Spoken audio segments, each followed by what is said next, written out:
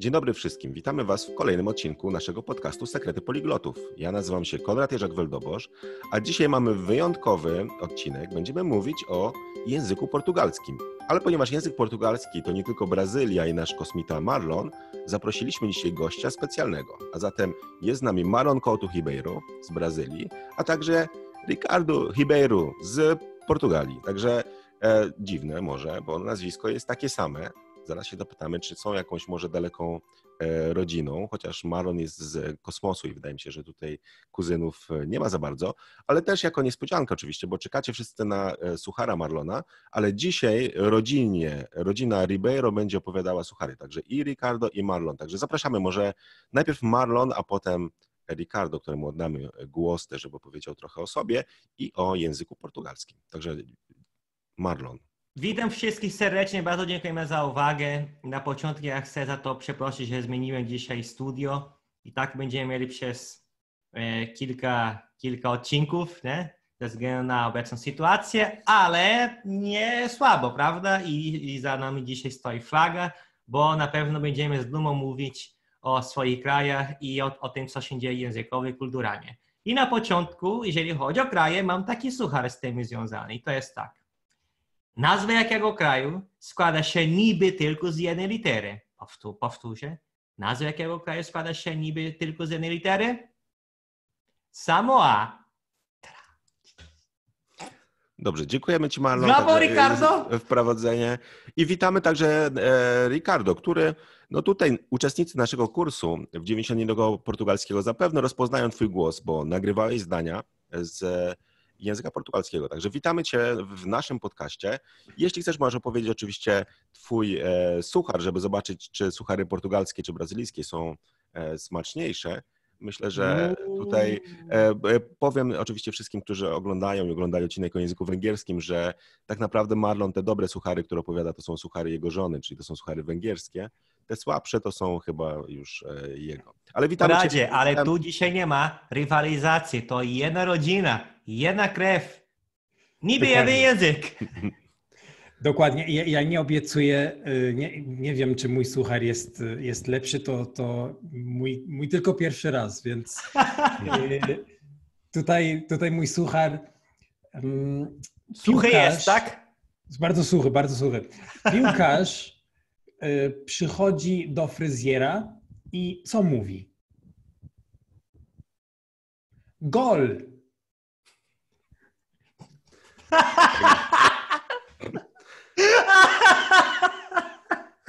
Znaczy, ja, ja, pomyślałem sobie, że to raczej nie jest brazylijski piłkarz, bo tam większość to nie ma, nie ma włosów, więc. E, e, tak, także wydaje mi się, że dzisiaj. E... Bardzo dobry gol, Ricardo! Gol! No przecież, to jest Portugalia, Brazylia, to uwielbiamy piłkę nożną, prawda?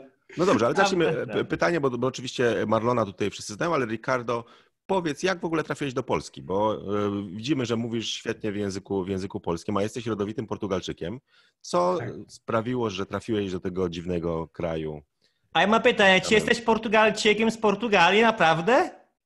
Tak, z tego co wiem, tak. Jestem y, z Portugalii i akurat trafiłem do Polski tak jak większość obcokrajowców trafia do Polski, czyli przypadkiem. E, to był szczęśliwy przypadek zrządzenia losu.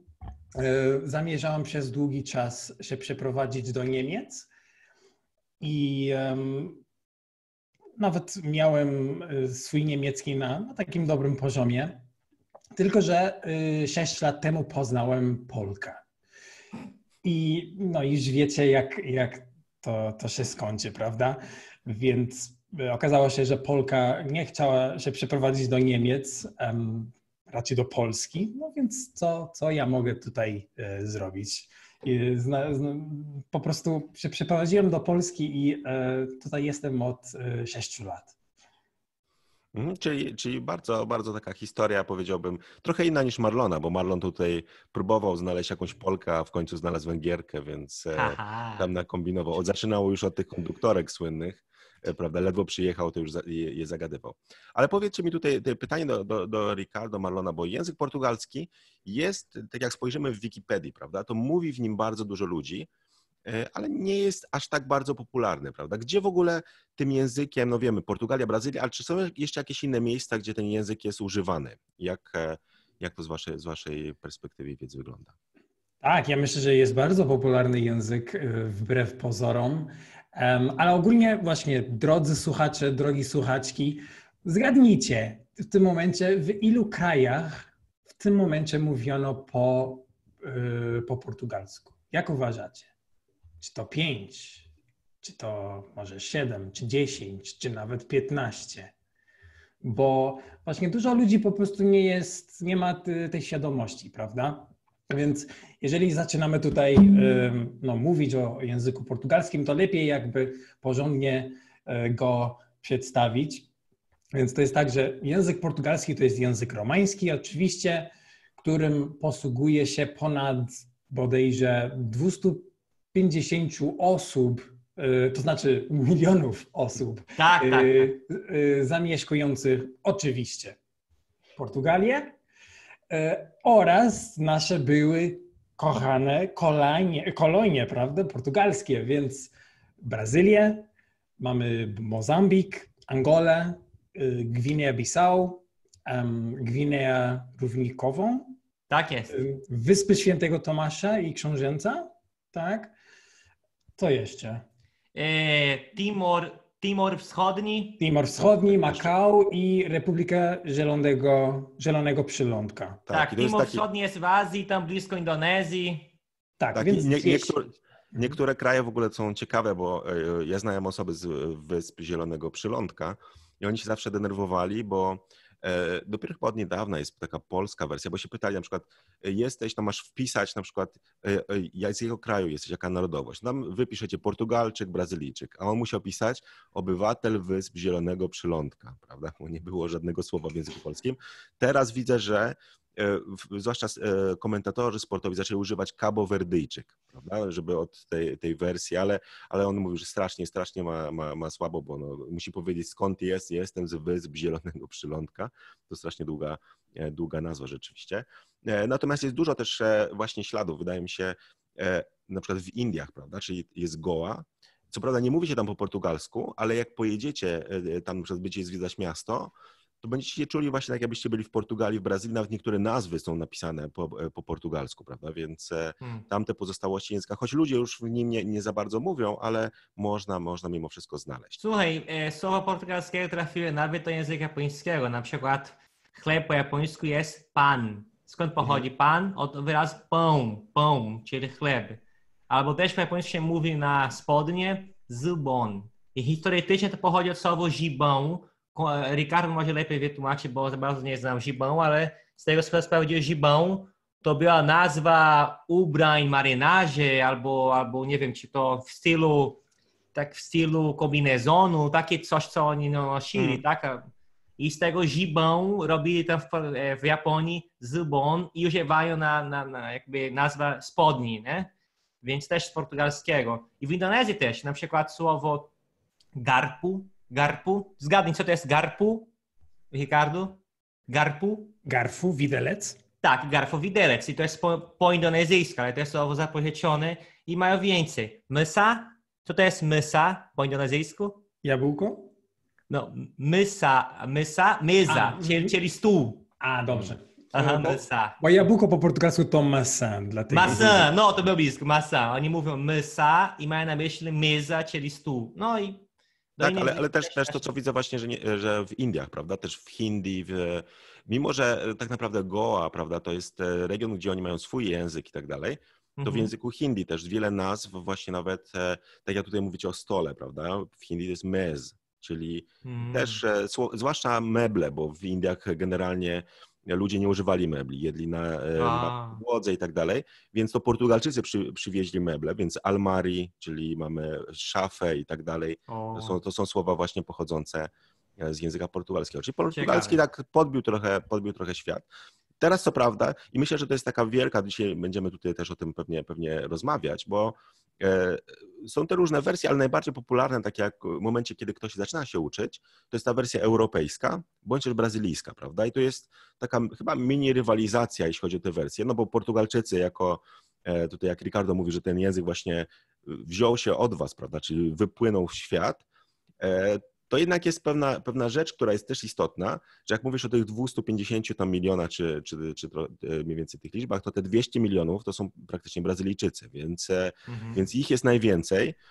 Więc to trochę jest tak, zawsze wydaje mi się to też będziemy o tym mówić, bo jeśli ktoś zaczyna naukę portugalskiego, to pytanie jest właśnie o te, o te wersje, czy powinien jakąś wybrać, czy, bo na przykład jak uczymy się angielskiego, to to jest trochę inaczej, prawda? Nikt e, praktycznie e, nie decyduje się na jakąś wersję, tylko się po prostu uczy angielskiego, wiedząc, że ok, tam jest brytyjska, amerykańska, chociaż ja zalecam, żeby jednak jakąś wybrać na samym początku, zwłaszcza pod kątem wymowy, żeby się e, bardziej przyzwyczaić, to w przypadku języka portugalskiego chyba E, tutaj warto wybrać e, wersję. Jak Ricardo myślisz? Czy jak e, ktoś do ciebie przychodzi, chce się nauczyć języka portugalskiego, to czy radzisz wybrać wersję, czy raczej ucz się trochę tego, trochę tego, jak to, jak to twoim zdaniem najlepiej działa? Tak, jak najbardziej. Myślę, że um, nie, nie, trzeba jakby utrudniać sobie życie.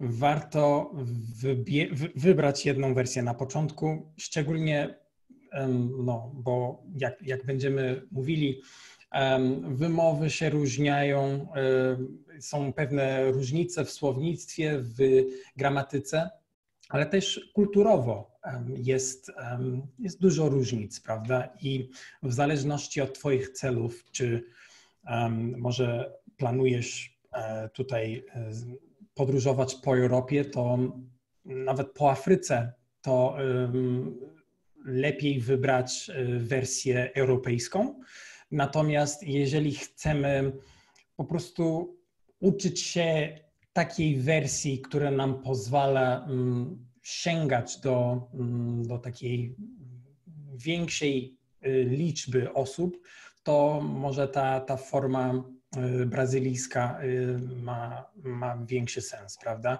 Więc ja raczej zawsze doradzę trzymać się jednej wersji, opanować tą wersję, opanować zasady i wymowę tak porządnie, a potem i tak będzie mały wysiłek, żeby uczyć się tego drugiego wariantu. Mhm. Bo ja nie wiem, jak, jak to jest z perspektywy cudzoziemca, który zna e, portugalski europejski albo portugalski brazylijski. Ale z mojej perspektywy jako Brazylijczyk to jest dla mnie duży wysiłek, albo był dla mnie duży wysiłek ta nauka portugalskiego europejskiego, bo Drodzy słuchacie, to, to, że znam portugalsko-brazylijski, e, nie znaczy, że automatycznie znam portugalsko-europejski. Ja tego się uczę, się uczyłem, dalej się uczę i muszę traktować jako język obcy, ale z taką zaletą, że, że, że rozumiem wszystko praktycznie, więc skupię się na różnicach, nie? czyli na, na wymowie, na słownictwie, które się różni. Ja sam, ja sam dla siebie sporządziłem na podstawie seri, e, seriali, które już po portugalsku oglądałem, na podstawie też strony, strony internetowe, ponad tysiąc słów taki wpisałem sobie tam do, do, do zeszytu, które się różnią między Portugalią a Brazylią i to nie są fachowe słowa, to są takie codziennie praktycznie. Oprócz mhm. tego idiomy też jest zwroty, e, które też się zmieniają, nie? Mhm. A powiedzcie, które czy... są zupełnie inne. Nie? Ja, ja bym się nie domyślał, gdybym, gdybym tego się nie uczył aktywnie. Mhm. A powiedzcie, czy wy na przykład Portugalczycy i Brazylijczycy, czy się nawzajem rozumiecie? Czy to jest tak, że Marlon, zawsze zrozumiesz Portugalczyków, czy, czy czasem jest problem? Albo taki przeciętny Brazylijczyk, bo ty, no, ty trochę więcej wykonałeś tej pracy, prawda, żeby...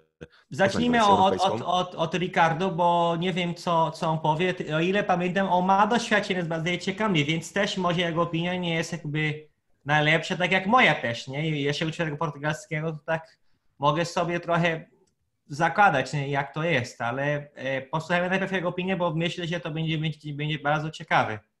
Tak, y, ja ogólnie mieszkałem z dwoma Brazylijczykami przez rok i moja była dziewczyna była z Brazylii też. Um, I w pewnym sensie ja musiałem się nauczyć um, wymowy brazylijskiej. Y, tam ta, ta wymowa y, do interior, nie? Właśnie ta, ta wymowa, która jest e, no właśnie mówiona w, no w pewnych częściach e, Brazylii, e, bo no, dziewczyna mnie nie rozumiała do końca, prawda?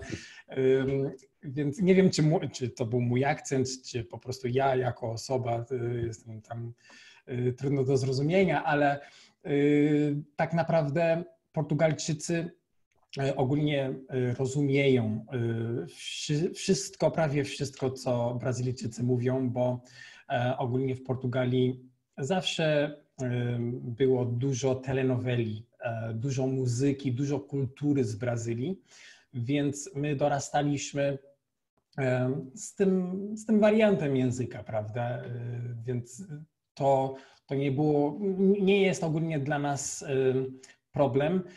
Brazylijczycy ogólnie też mówią wolniej niż Portugalczycy, bardziej wyraźnie, melodyjnie i, i to, to wszystko pomaga, prawda? Mhm. Więc ogólnie... Hmm? Tak, ja myślę, myślę, właśnie, że to, co mówisz, że e, na przykład Portugalczycy moim zdaniem bardzo połykają niektóre e, właśnie te nieakcentowane na przykład sylaby, prawda? I to jest z mojej perspektywy, ja zawsze też mówię uczniom, jeśli ktoś zaczyna przygodę z portugalskim, a nie może się zdecydować, no bo mieszka w Polsce, prawda, przyszedł mu do głowy pomysł, chce się pouczyć portugalskiego e, i którą wersję wybrać. No ja mówię, że, że tak, jak, tak jak wspominałeś, że jeśli masz na przykład jakichś znajomych z Portugalii, to wybieraj wersję portugalską. Jeśli chcesz podróżować do Portugalii, czy na Maderę, czy w jakieś miejsca, to ta wersja portugalska, europejska będzie ci bardziej przyda- dla ciebie przydatna. Ale wersja brazylijska jest trochę łatwiejsza właśnie w zrozumieniu i myślę, że to jest coś, co e, zazwyczaj e, to, co widzę, że tak jak mówisz, że tutaj ci Brazylijczycy ciebie nie rozumieli, natomiast ty ich rozumiałeś. Czyli najczęściej tak jest właśnie, że e, Brazylijczycy, myślę, że to też wynika z tego, że więcej Brazylijczyków chyba jest w Portugalii, bo dla nich Portugalia to jest taki, e, jak oni chcą na przykład przyjechać do Europy, to często docierają do Portugalii, bo jest łatwiej, bo jest e, język portugalski i tak dalej.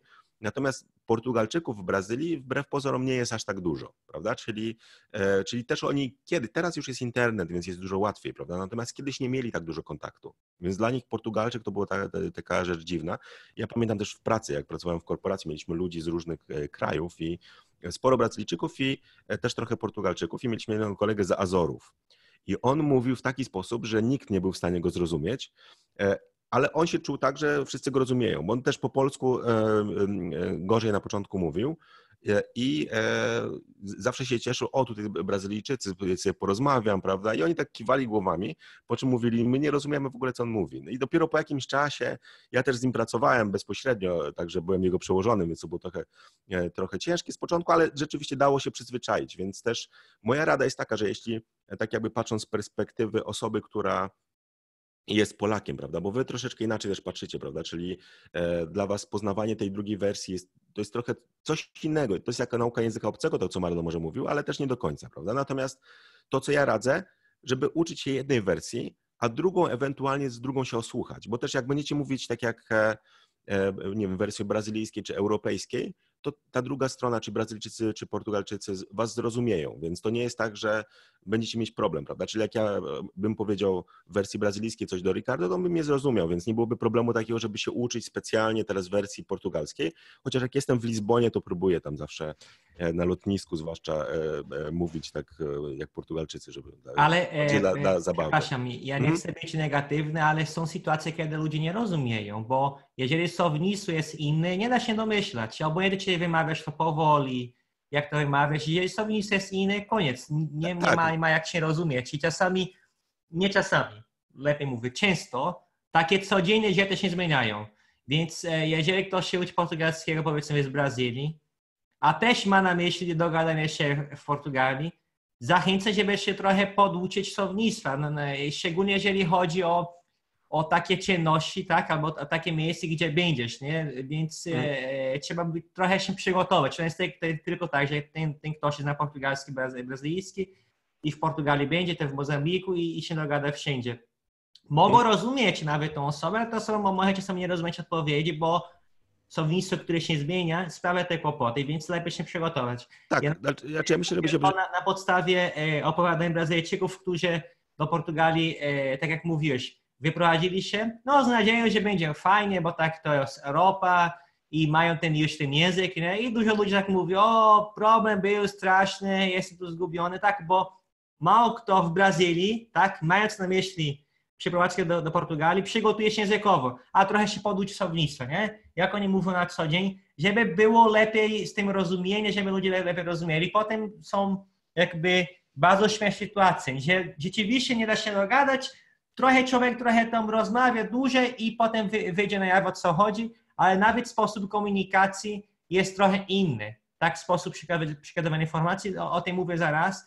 Ricardo też mo, może dodać swoje doświadczenie, skoro mieszkał też z Brazylijczykami, jak to osobniczo się różnia, tak? Albo nawet czasami te same słowa mogą mieć inne życie, takie u nas bardziej ograniczone, albo bardziej rozszerzone i tak samo w Portugalii, więc są takie śmieszne sytuacje, bardzo często nie, nie takie, że obraźliwe, ale śmieszne sytuacje, śmieszne błędy, e, które wynikają z tej różnicy w słownictwie codziennym. Mhm. Tak, ja myślę, że tak z perspektywy Polaka, to co ja bym radził właśnie, skupić się na jednej wersji, tak. a później jak już ją będziecie znać na poziomie takim komunikatywnym, to e, sprawdzić się, tak jakby poduczyć się troszeczkę tej drugiej mhm. wersji, a czy nie tyle uczyć się, co właśnie sprawdzić słownictwo, osłuchać się, bo wtedy tak. też wyłapiecie sporo, sporo, sporo tych różnic. I myślę, że... Czytać te, te reguły, tak, bo, bo jeżeli zauważysz, szczególnie w Portugalii, wydaje mi się, że, że są, bardzo, są bardzo przeźroczyste reguły wymowy, że ta wymowa jest bardzo inna, ale, ale bardzo przewidywalna, bo ja mówię, bo sam tego się uczy i, i fajnie to jest, a wydaje mi się, że u nas w Brazylii jest mniej to przewidywalne, że u nas jest więcej wariantów w wymowie, nie?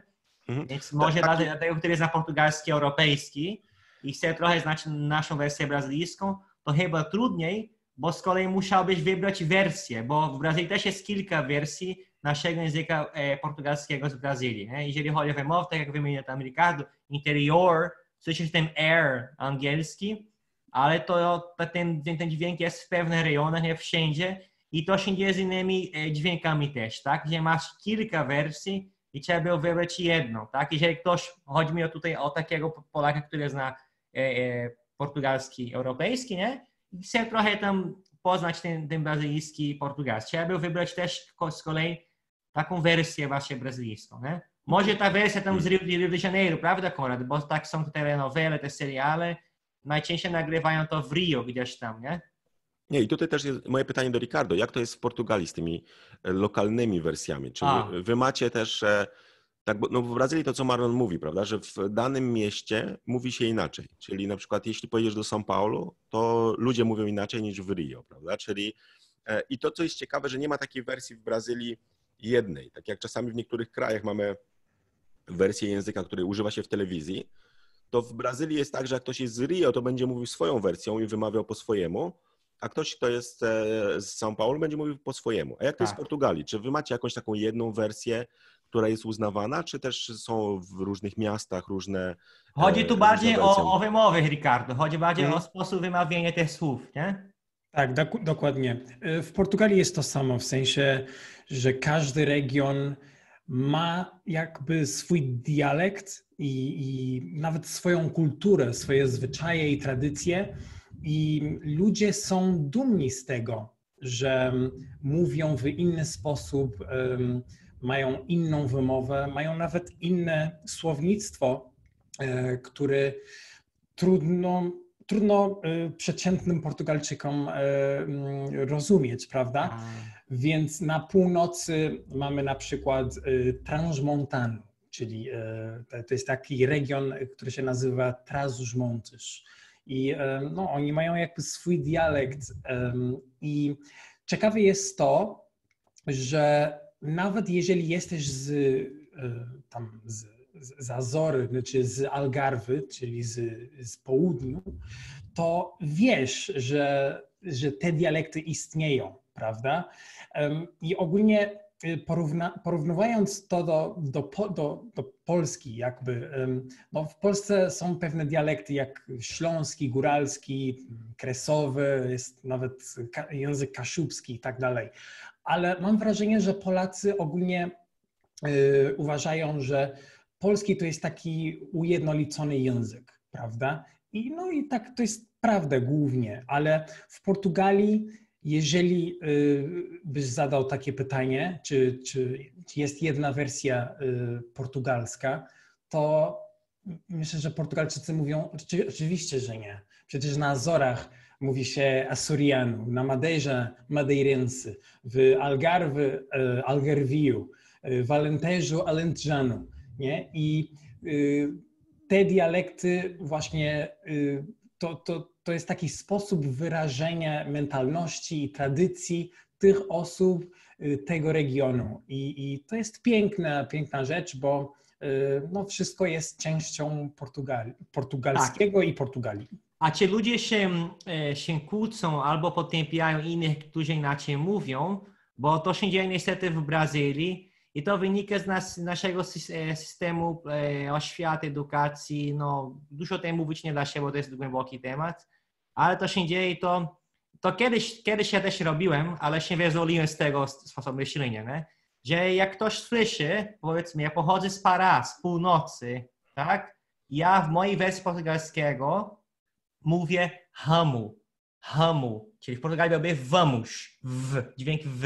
U mnie ten wy tu jest zupełnie, nie? piszę wy, ale tak mówię, nie? Jak ktoś słyszy na przykład, że mówię hamu, że idziemy, nie? to pochodzi z innego rejonu, to może mówić, ty źle mówisz, nie? co ty mówisz człowieku, to nie jest hamu, to jest vamos, nie? mów po ludzku, nie? tak Brazylijczycy mogą tak robić, nie? albo kolejny przykład, mówię słowo caçar, caçar w Portugalii, to jest dosłownie polować, ale my na północy używamy jako szukać czegoś, szukać kogoś, nie? I ludzie robią żarty z rejonu, że a czym ty będziesz polował, nie? Czy jak, jak, e, z jakiej broni będziesz korzystał? I nie ma na myśli tego, nie? Więc e, jak to robią tam w Portugalii? Czy, bo mówi, że ludzie są świadomi, tak? I że są te inne dialekty, ale potępiają innych, czy, bo wydaje mi się, że u nas to wynika z tego braku świadomości, że ci, którzy mówią, tak się nie mówi, mów tak jak mówię, mają wrażenie, że ich dialekt jest po prostu jakby największą prawdą i, i tak trzeba by mówić wszędzie w Brazylii, nie? A jakie są u, u was tam właśnie w Portugalii? Wiesz co, to jest, to jest ciekawe, to, co, to mówisz, e, co mówisz, bo w Portugalii myślę, że my doceniamy y, tą różnorodność hmm. między regionami.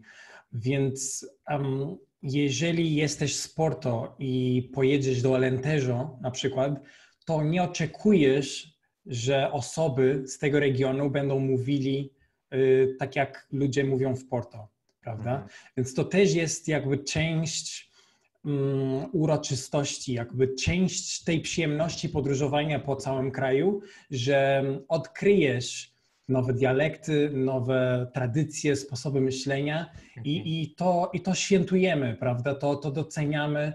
Um, i, I tak naprawdę to jest tak, że może ewentualnie y, pojawiają się takie rywalizacje między miastami, y, tak jak między Krakowem a Warszawą, prawda? Więc między Porto a Lizboną to też jest e, coś podobnego, ale myślę, że to są takie żartobliwe dokuczanie, to, to jest nic złego, bo ogólnie w Portugalii myślę, że potrafimy śmiać z samych siebie, prawda?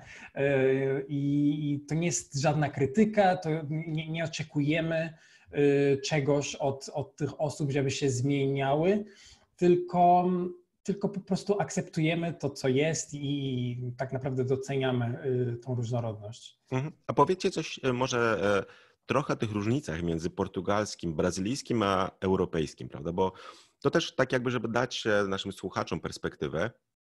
E, generalnie, tak jak my mamy nasze kursy w 90 dni, ja zrobiłem na język angielski wersję brytyjską i amerykańską do wyboru, no bo wie, wiemy, ludzie, którzy uczą się angielskiego, zdają sobie sprawę, że są różnice tam e, troszkę jeśli chodzi o wymowę, troszkę jeśli chodzi o e, słownictwo. Gramatyka jest bardzo, bardzo podobna. Są drobne różnice, ale, ale, ale nie tak duże.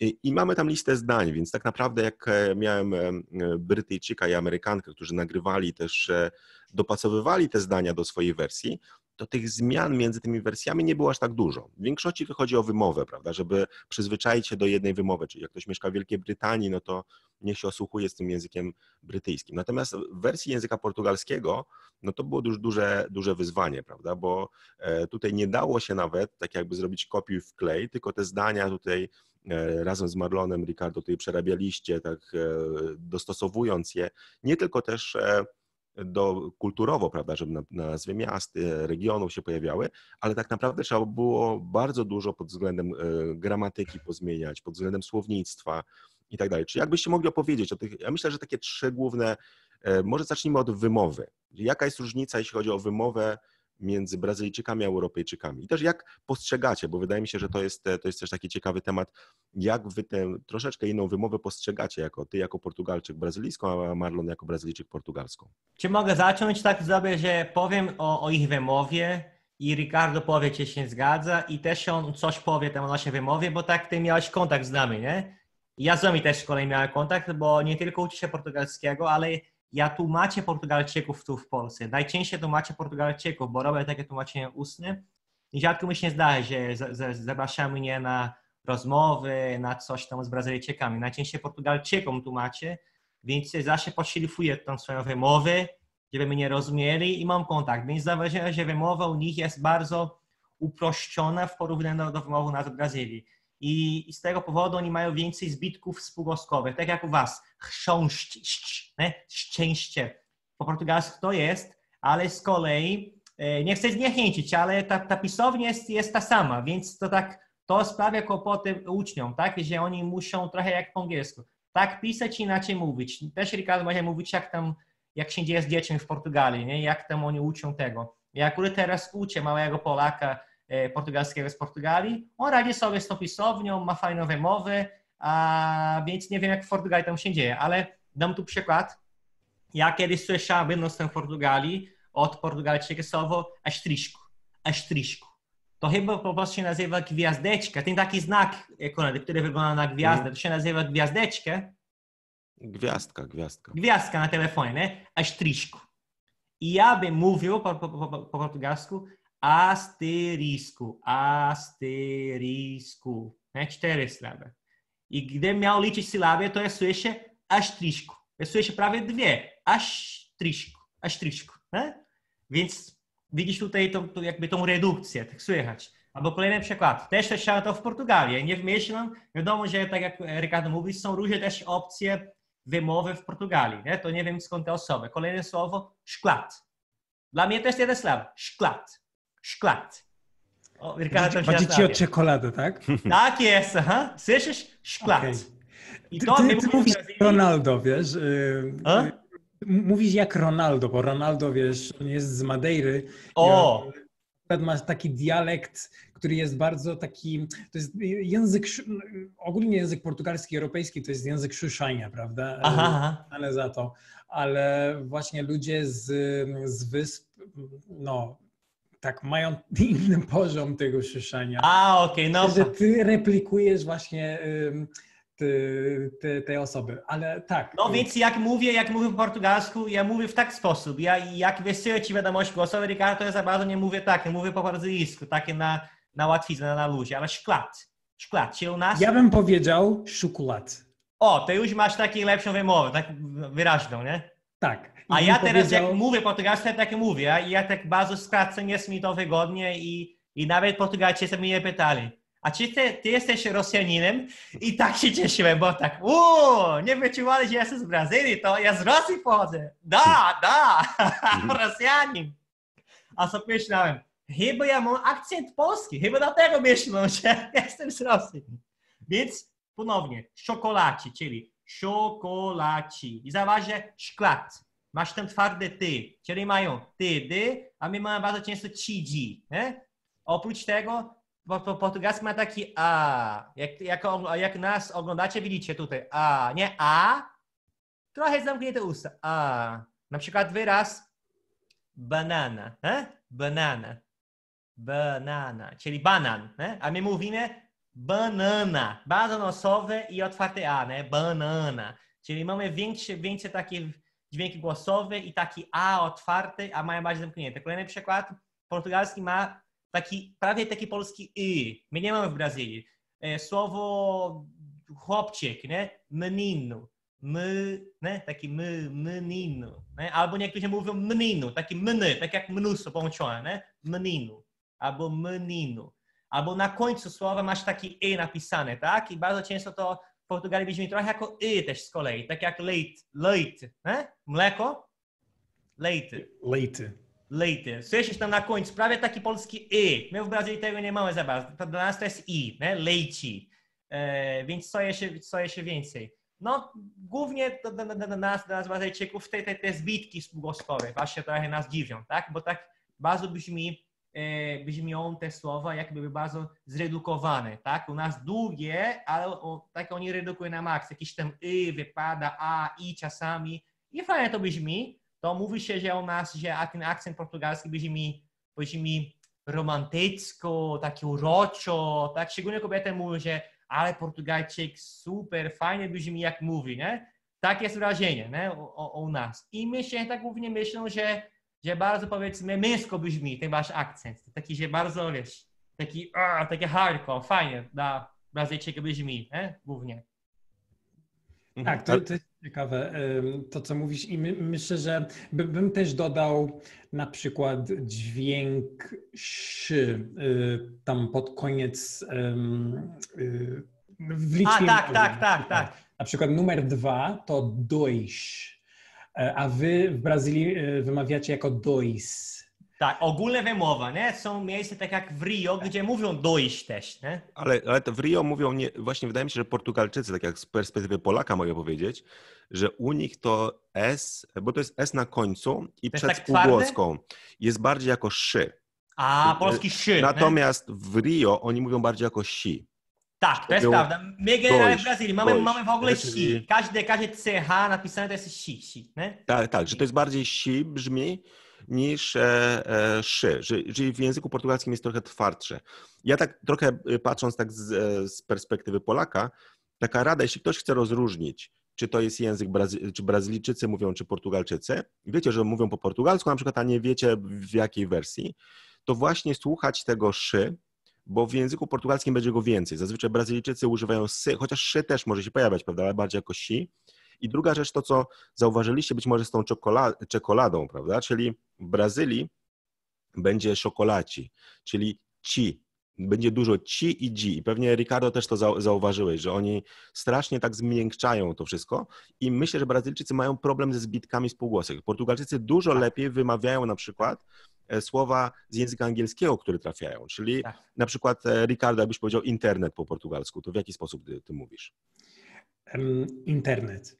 Mhm. A jak mówi Brazylijczyk e, internet? Interneci. Wszystko musi być sylabę. Interneci. Albo taka, taka marka. Microsofti. Microsofti. Co to jest Microsofti? Microsofti. Taka, albo, albo WhatsApp, jak mówią, WhatsApp. WhatsAppi. Tak, WhatsAppi. Wszystkie są różne, tak, że i każdy jeszcze, oni łamią sobie też e, język bardzo często. Albo na wersje- przykład święty papież tutaj z Polski, jak my nazywamy w Brazylii? Karol Wojcila. Ka- Wojcila, czyli Wojtyła, nie? Jego nazwisko? Wojcila. nie? Skąd to? nie? Nie, ja, ja to znam bardzo dobrze, bo moje imię Konrad, Brazylijczycy najczęściej mogą, niektórzy wymawiają jako Conrado, czyli to wersja ta portugalska tego imienia, ale w większości mówili Conradzi, czyli w ogóle zero e, podobieństwa, prawda? Ja Bo- bym mówił Konradzi. Jeszcze sylaba, jeszcze akcent na H. Konradzi. Jak mówię do rodziny o tobie, bo opowiem o tobie, to mówię, a mój kolega Konradzi. Tak, tak, czyli, czyli to też widać właśnie od razu, ale słychać to dzi i ci, prawda? To jest takie I charakterystyczne. nocowy, kon. Musi Mhm, być tak, tak, że kon, przez... kon, konradzi. I mamy H. Nie H, H. Nie? Mhm, tak.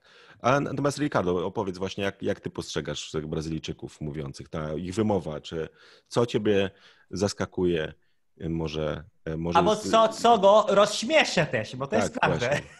Tak, to, to y, czasami zdarza się razem, prawda? To jest i śmieszne, i zaskakujące jednocześnie. E, Więc e, no zdecydowanie te dźwięki nosowe, że wygląda na to, to znaczy brzmi tak, że, że oni no, nosem e, właśnie wszystko wymawiają. Jakbyśmy byli zakatarzeni. Tak, to jest właśnie taka informacja też, bo jak Marlon mówi po polsku, to czasami przez nos, więc to nie znaczy, że jest chory, on po prostu tak ma. Dziękuję. No właśnie, więc nawet nie, nie muszę tutaj e, podać przykładu. Em, ogólnie też e, ta melodia, prawda, bo og- my, myślę, że Portugalczycy, e, my mamy konkretną melodię, ale jeśli chodzi o ton, to jest całkiem regularne, prawda? Natomiast Brazylijczycy mogą mówić w różne sposoby e, i jakby podkreślać różne sylaby, żeby wyrażać pewne emocje. Tak, to się nazywa zaciąganie po polsku, zaciąganie, ale u no nas zaciąganie istnieje i ma, i ma rolę, tak ważną rolę, bo po polsku zaciąganie jakby nic nie znaczy, tylko znaczy, że masz akcent danego rejonu i tyle, prawda Konrad? Bo u was za, zaciąganie nie jest ważne, że ma pewną rolę, że stosujesz ty, ty raczej... jako mówiący e, po polsku z Warszawy, a teraz musi zaciągać, żeby to podawać, nie? żeby Tak, znaczy, ja myślę, że w języku polskim teraz, bo, bo, przed wojną, kiedy ludzie mniej podróżowali, mniej mieli radia, telewizji i tak dalej, były rzeczywiście różnice dużo większe, prawda? Czy jak ktoś był z Warszawy, to było wiadomo, że jest z Warszawy, prawda? Teraz już ciężej, e, czasami można rozpoznać po e, bo słownictwo jest praktycznie takie samo. Tam pojedyncze słowa, tam, e, e, no nie wiem, jak ktoś jest z Łodzi, z Warszawy, to może tam bilet miesięczny nazywać migawką i tak dalej. Ale to są jakieś takie słowa, których nie używacie na co dzień, prawda? To może wyjść gdzieś tam w rozmowie. No wiadomo, najsłynniejsze te nadwór, na pole, prawda, i tak dalej. Ale nie ma takich różnic właśnie, może na przykład jak ktoś jest z Podlasia, prawda, no to wtedy usłyszymy właśnie tą melodię że oni będą mówić używając polskich słów, ale jednocześnie taki bardziej śpiewny sposób, prawda? Czyli e, natomiast jeśli ktoś jest ze Śląska, mówi po polsku, to oni rozróżniają chyba tak, że to jest ten śląski język, jest trochę inny. Czasami słychać, e, natomiast nie zawsze, prawda? Czyli e, ja moich znajomych ze Śląska, niektórych mogę rozpoznać, że są ze Śląska, ale w większości nie. Czyli to jest tak, że oni tym, językiem polskim się posługują, ale język zmieniają, prawda, na tym dialogie, jak są w, w rodzinie i tak dalej, prawda, czyli E, tutaj y, y, oczywiście jest zawsze dyskusja, czy to jest język, dialekt. Ja myślę, że to jest bardziej taki nawet już język niż, e, niż dialekt, ale to, tak. to zostawmy No to da, dalej, Ricardo. Tak. Oprócz melodii, tak, właśnie to Tak, oprócz melodii, myślę, że nas, y, jest dla nas bardzo ciekawy właśnie te różnice, jak wy używacie tego języka, bo my, my na przykład w języku, w odmianie europejskiej rozróżniamy te zaimki osobowe ty i pan lub pani, prawda? I oczywiście, że używamy y, formy ty z najbliższymi osobami, czy, czy e, może z, z młodszymi, ale w Brazylii jest tylko jedna forma, prawda? Tak jak w języku angielskim. I, i to jest ciekawe, to wydaje nam, wydaje jakby Portugalczykom, że, że po prostu wszystko jest tak luźne tam w Brazylii, no nie? że oni nie czują y, tej potrzeby, żeby rozróżniać y, te formy e, i, i to jest ciekawe zdecydowanie. Słuchaj, nie wiem jak ten jest e, w São Paulo, tam z ludźmi, z którymi mieszkałeś, ale w mojej realiach to jest trochę inaczej i jednak istnieje ta różnica. Słowo pan albo pani to jest u senior, a seniora i potrzebne są e, inaczej niż po polsku, nie po to, żeby podkreślać, że ja nie znam osoby, tak? Tutaj może mnie poprawić, ale ja tak odbieram, że dla was słowo pan, pani podkreśla, że mówisz grzecznie, ale ty nie znasz tej osoby. Póki jak znasz tą osobę, to jest twój tata, twoja mama, to Polek chyba w życiu by nie mówił pan, pani do własnego taty, do własnej mamy, bo zna tą osobę, jest bliska osoba.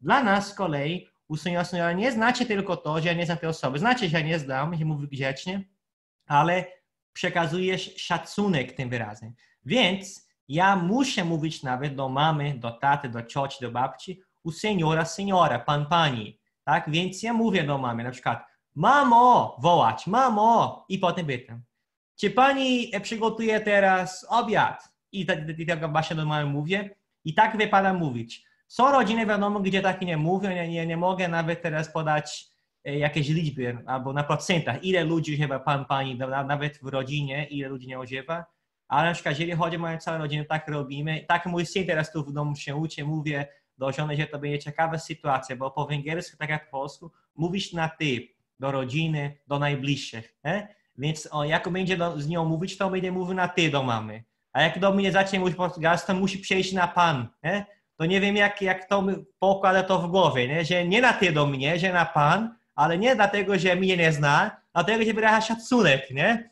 Więc to jest trochę taki inaczej. Ale I oprócz tego... że, że po polsku też e, mieliśmy do tej pory jest często stosowane, że znaczy nie, nie używamy nigdy pan, pani, natomiast używamy y, innej formy. Nie mówi się, ja na przykład do moich rodziców się zwracałem, mamo, czy możesz i tak dalej, czy tato, ale na przykład moja mama do swoich rodziców zwracała się, czy mama może, czyli używała trzeciej osoby, nie drugiej. A. Czyli też był, wydaje mi się, że to było takie jakby odpowiednikiem, prawda, że nie używała pani, ale używała słowa mama. I często też, to, to co ja widzę na przykład, że e, podobnie używamy na przykład w stosunku do wujków i cioć. I teraz o. zależy, jak blisko jesteśmy tej osoby, czyli to jest tak jakby na zasadzie nie szacunek właśnie, ale e, czyli w języku polskim to nie jest szacunek, ale to jak dobrze znamy daną osobę. Czyli jak ja na przykład mam jakiegoś wujka, którego dobrze znam, e, to powiem wujku, czy, czy możesz przyjść na przykład, prawda?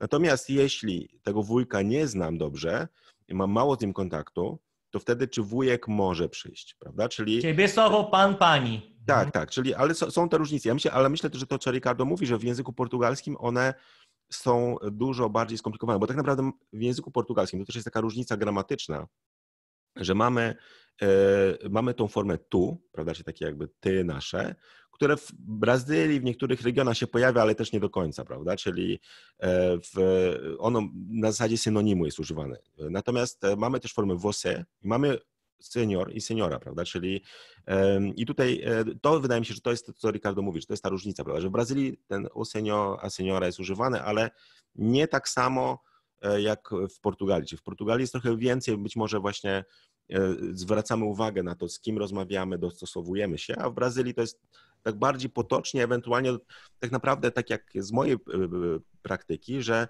to słowo o senior, a seniora rzeczywiście wyraża szacunek, ale jest używane najczęściej do osób starszych, czyli jak na przykład ja spotykam kogoś, e, to, to nie używam tego, prawda? Czyli użyłbym, gdybym jakąś starszą osobę widział, bądź też na przykład byłbym podwładnym, prawda? Czyli na przykład jakbym jakimś był w wojsku i tak dalej, to rzeczywiście tych form trzeba byłoby używać. Czyli taki właśnie szacunek czy miejsce w hierarchii, ja bym powiedział, że to odzwierciedla. Czyli jeśli jesteśmy na, w tym samym miejscu w hierarchii, to używamy formy ty, prawda? Więc e, w Portugalii pewnie jest inaczej. Tak, ale tak jak właśnie mówisz, e, oprócz tego senior, senior jest słowo moço, moça. W naszym kursie portugalskiego mhm. brazylijskiego jest.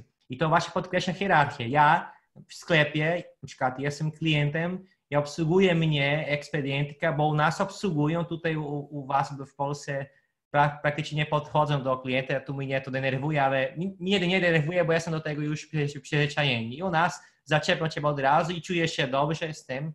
I mówisz mosu, bo to jest, można tłumaczyć na polski jako pan, ale to nie jest pan, bo jak mówię mosu, to teraz ja jestem senior, pan i mówię do kogoś, który jest trochę niżej w tej hierarchii, tak? Bo ja jako klient w autobusie, w sklepie, e, gdzieś tam w mieście, gdzie kupuję jakąś usługę, to ja jestem wyżej w tej, w tej hierarchii według naszego sposobu myślenia w Brazylii. Dlatego starają się Cię obsługiwać. Oni wiedzą, że jak tego nie robią, to stracą klienta. To wsadzą do bagażnika twój, Twoją walizę, tak do Ciebie podchodzą, dają Ci więc czuję się, nie wiem jakby czuł, ja czuję się świetnie nie? w taki sposób w Brazylii, bo to jest w naszej kulturze. Nie? I więc mówisz mosu, mosa, czyli grzecznie mówisz do tej osoby, ale nie jako senior, seniora, bo on jest wyżej od ciebie w tej hierarchii. Jakiś pan, który ma stoisko sprzeda tam wodę kokosową, prawda, albo lodę na ulicy, to też będzie mosu, mosa, trochę nie od wieku. Nie? Będziesz mówił,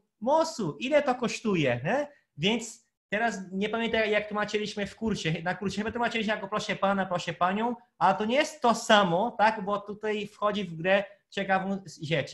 Jeszcze Ricardo coś mówi zaraz, ale wydaje mi się, że słowo menina jest używane przynajmniej w barach, w restauracjach jako mniej formalnie odpowiednik słowo seniora. Bo widziałeś już, jak kelner podchodzi do starszej pani aż, tak, i pyta, e, o que, a menina deseja, o que, a menina vai querer, né? I tu, nie wiem, czy to jest wpływ Hiszpanii, bo w Hiszpanii tak samo się robi. Ja gdzieś tam byłem, widziałem, jak młodsza, tak nastolatka obsługiwała tam ciocie i mówią ola chicas, nie? Chyba mówi, żeby te panie się czuły dobrze, że są starsze, to są babcie, ale podchodzi kelnerka i mówi witam dziewczyny, nie? I tak, ale to jest jakby, ma tą funkcję, że mówi, mówią grzecznie, ale nie tak super grzecznie, tak jakbyś mówił na pan, pani, bo też się kojarzy to z wiekiem też, nie? to więc co sądzisz o tym menina jako mniej formalnie niż seniora na przykład, nie? I może mówić nam wytłumaczyć sytuację włosy, bo ci, którzy się uczą chyba mają problem z tym włosy, bo ja usłyszałem, nie wiem czy to jest prawda, w niektórych rejonach, włosy jest uważane za obraźliwe słowo, pomimo tego, że to jest pan, pani. Więc w końcu, jak właśnie ma mówić pan, pani, czy mówi się seniora, seniora, włosy, menina, jak to jest? Czy macie tego, użycie tego mosu, mosa, coś tam z, tym, z tą hierarchią jest? Jak to jest u was? Tak, ogólnie mosu, mosa to jest obraźliwe u nas, um, więc um, ogólnie... Czyli mamy przerobane, tak? Mosu! Tak, nie, nie, nie rób tego. Znaczy, i tu jest taka ciekawostka, bo zaraz przejdziemy do, do słownictwa, natomiast e, e, czasami zdarzają się słowa, które mają znaczenie właśnie obraźliwe, prawda? W nie czasem, Konrad, bardzo często. I bardzo tutaj, często, ale, ale to, jest, to jest ciekawe, że e, akurat słowo, prawda, mosa, czyli dziewczyna, prawda? W Portugalii ma znaczenie trochę nie, nie tyle dziewczyna, ale dziewczyna wykonująca pewien specyficzny zawód czasami, prawda? Tak, za, oni... za kasiorę. Tak, a e, w Portugalii się mówi na taką dziewczynę rapariga, prawda? Czyli e, dziewczyna, co w Brazylii w Brazylii to jest mm, też nie do końca dziewczyna, tylko taka dziewczyna wykonująca specyficzny zawód. Tak, to jest moca, ale w Brazylii, nie? Mhm, o, tak, tu czyli kasiora jest, i pa, coś To tam. jest taka ciekawostka, prawda? Czyli właśnie, że no nie do końca, nie do końca wiadomo. I też taka, taka też e, anegdotka, prawda, jest jeśli chodzi o słowo polski, prawda? Czyli w Portugalii polski, jak na przykład szukacie jakiegoś materiału, na przykład słownika i chcecie zobaczyć, czy to jest słownik bardziej europejskiej czy brazylijskiej wersji, to zobaczcie, jak jest napisane po portugalsku. Portugalsko-polski. Polski w Portugalii jest Polaku, e, a w e, Brazylii jest Polonejsz. I teraz w Brazylii wymyślono słowo Polonejsz, bo też było oczywiście e, słowo Polaku, ale tam zaczęło być używane negatywnie na Polaków, czyli tak bardziej... Szczególnie na południu Brazylii. Tak, tak, tam, tam gdzie dużo było Polaków, dużo, dużo było naszych imigrantów i oni zaczęli się denerwować tym, że nie mogą powiedzieć jestem Polakiem, bo to jest jakieś negatywne słowo, prawda?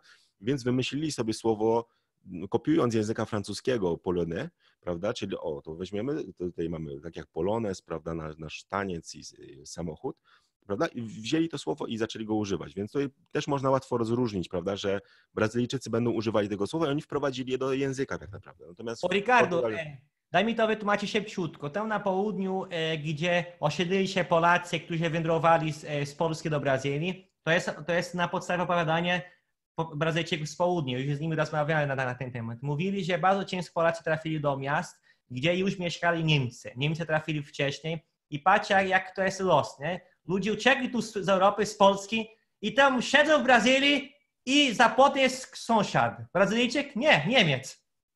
Boże, co się dzieje, tak? Prawda. I ta sytuacja po prostu e, e, jakby sprawiła to, że bardzo dużo ludzi tam, bardzo dużo ludzi z Polski nie mogło się odnaleźć, tak? Bo byli po prostu zdenerwowani tą sytuacją, tu Niemcy i tak dalej, bo nie da się ukrywać, była taka nienawiść, było to uzasadnione w tamtych czasach jak najbardziej, więc ciężko im było po prostu się zgadzać z tą społecznością, która przejęła tych Niemców i tak dalej, więc bardzo dużo e, Polaków zaczęło tam pić, nie przyjęli pracy, do pracy e, niektórzy, niektórzy się nie udawali, ciężko im było uczyć się portugalskiego w ogóle, po jakimś czasie nawet już nie mówili po polsku, ani po portugalsku, jest taka mieszana, więc ani Polacy ich rozumieją do dzisiaj, ani Brazylijczycy do końca, więc nawet są takie, są takie akcje społeczne, pracy społecznej, żeby pomagać tym ludziom, bo dalej mają swoje pokolenie, niektóre mają problemy do dzisiaj. Więc to Polaku się kojarzy na południu z taką osobą, która nie chce pracować, która jest ciągle pijana, która nie jest poważna, więc mówią do wszystkich, tak? To jest używane jak, a, to jest jakiś Polaku, nie? o każdym, obojętnie skąd pochodzi. Więc dlatego właśnie to na południu szczególnie nie mówi się Polak, mówi się od razu Polonais, w innych rejonach też, ale Brazylijczycy mieszkający za granicą bardzo często, szczególnie, że znają polski, będą mówić Polaku. To mnie trochę denerwuje, bo to jest dla nas brzydkie słowo, ale moi rodacy tu w Polsce mówią Polaku. Przestają mówić Polonais i mówią Polaku pod swoim słowo Polak. Nie? Ok, no właśnie twoja odpowiedź, e, e, Ricardo, o tym menino, menina, senhor, senhora i você i tak dalej. To... Tak, właśnie, wracając do tego, do tego wątku. Um, ja myślę, że dla Polaków łatwiej um, jakby przestrzegać tak, że są trzy główne stopnie grzeczności, prawda? Hmm. Więc masz ty, masz você, a potem masz u senhor lub a signora. A, prawda? I, i tak naprawdę, e, no, i, jeśli chodzi o, o, o różnicę między você i u senior, to to jest tak, jak Konrad mówi, no nie? że jeżeli e, to jest, no, rozmawiasz z starszą osobą, to mm, zazwyczaj używasz tego trzeciego stopnia mhm. mm, grzeczności, bo, no, bo za- zależy ci na tym, żeby pokazać y, tą grzeczność, ten szacunek, prawda? Em, Jeśli chodzi o meninu, y, to znaczy meninę tutaj, y, to rzeczywiście menina to jest młoda, młoda dziewczynka, prawda? Taka młodsza dziew- dziewczynka i to jest taka, to, to jest właśnie grzeczne, y, to jest taki sposób, żeby sprawiać, że kobiety, z, y, kobieta, z którą mówisz w danym momencie, czuje się no, tak dobrze i, i ona nie jest jednak aż tak starsza, E, więc po prostu możesz, możesz do niej zwracać jako menina, a nie você lub a signora, prawda? Więc to jest taki Są, s- y, m- możemy tutaj y, mieć dwie opcje. Em, Możemy pokazać dużo szacunku i używać a signora, ale to też jakby insynuuje się, że ta osoba jest starsza, no i tak naprawdę czasami jest starsza, wiadomo, nic złego z tym, E, ale no, jeżeli to jest starsza osoba, która bardzo dobrze znasz, to no, myślę, że miło jej będzie, jeżeli ym, używasz zwrotu menina, prawda? To samo ym, jest taki zwrot jovem, to, co oznacza młody i to ym, jest używany y, z, z młodymi ym, y, mężczyznami, czyli może do 40 lat. Jeżeli jakby jakoś młodo wyglądają, prawda? To żeby nie używać zwrotu u senior, to, to no, rzeczywiście może być obraźliwy, bo tak naprawdę jak ktoś ma 40 lat, to, to stosunkowo y, młodo wygląda, to możesz używać y, tak? To, to, to jest wciąż grzeczny na poziomie você, y, ale bez tego, no, bez tego stygmy, że to jest taki, no, tak, taki zbyt grzeczny. Tak, więc to, to są takie sposoby, żeby wykazać sympatię, żeby jakby, udzielić y, komplementy i, i, i tak naprawdę ludzie używają tego na co dzień. Mhm. A powiedzcie mi, e, jeśli chodzi o słownictwo. Czy e, tych różnic jest dużo? Na, na pewno no to jedna taka, taki obszar, gdzie te różnice są olbrzymie, to są środki transportu, prawda? Czyli tramwaj, autobus, e, pociąg. Ja To są taką, taką małą listę tutaj. To, to na, na pewno też Ricardo widzi. Możemy omawiać te. Jeżeli on nie chce, to też może dodać tam swoje. Tak, ja też mam y, bardzo ciekawą historię, y, śmieszną, więc y, chętnie y, Okej. ją opowiem potem. Mhm. A na przykład bisze.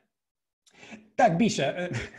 Gdy wypowiemy je w, w Europie, to Portugalczycy pomyślą, że chodzi o kolejkę, na przykład do kasy. Tak? Y, Brazylijczycy natomiast usłyszą pejoratywne określenie na homoseksualistę. Tak jest, tak jest. A file. Czy też mówicie file?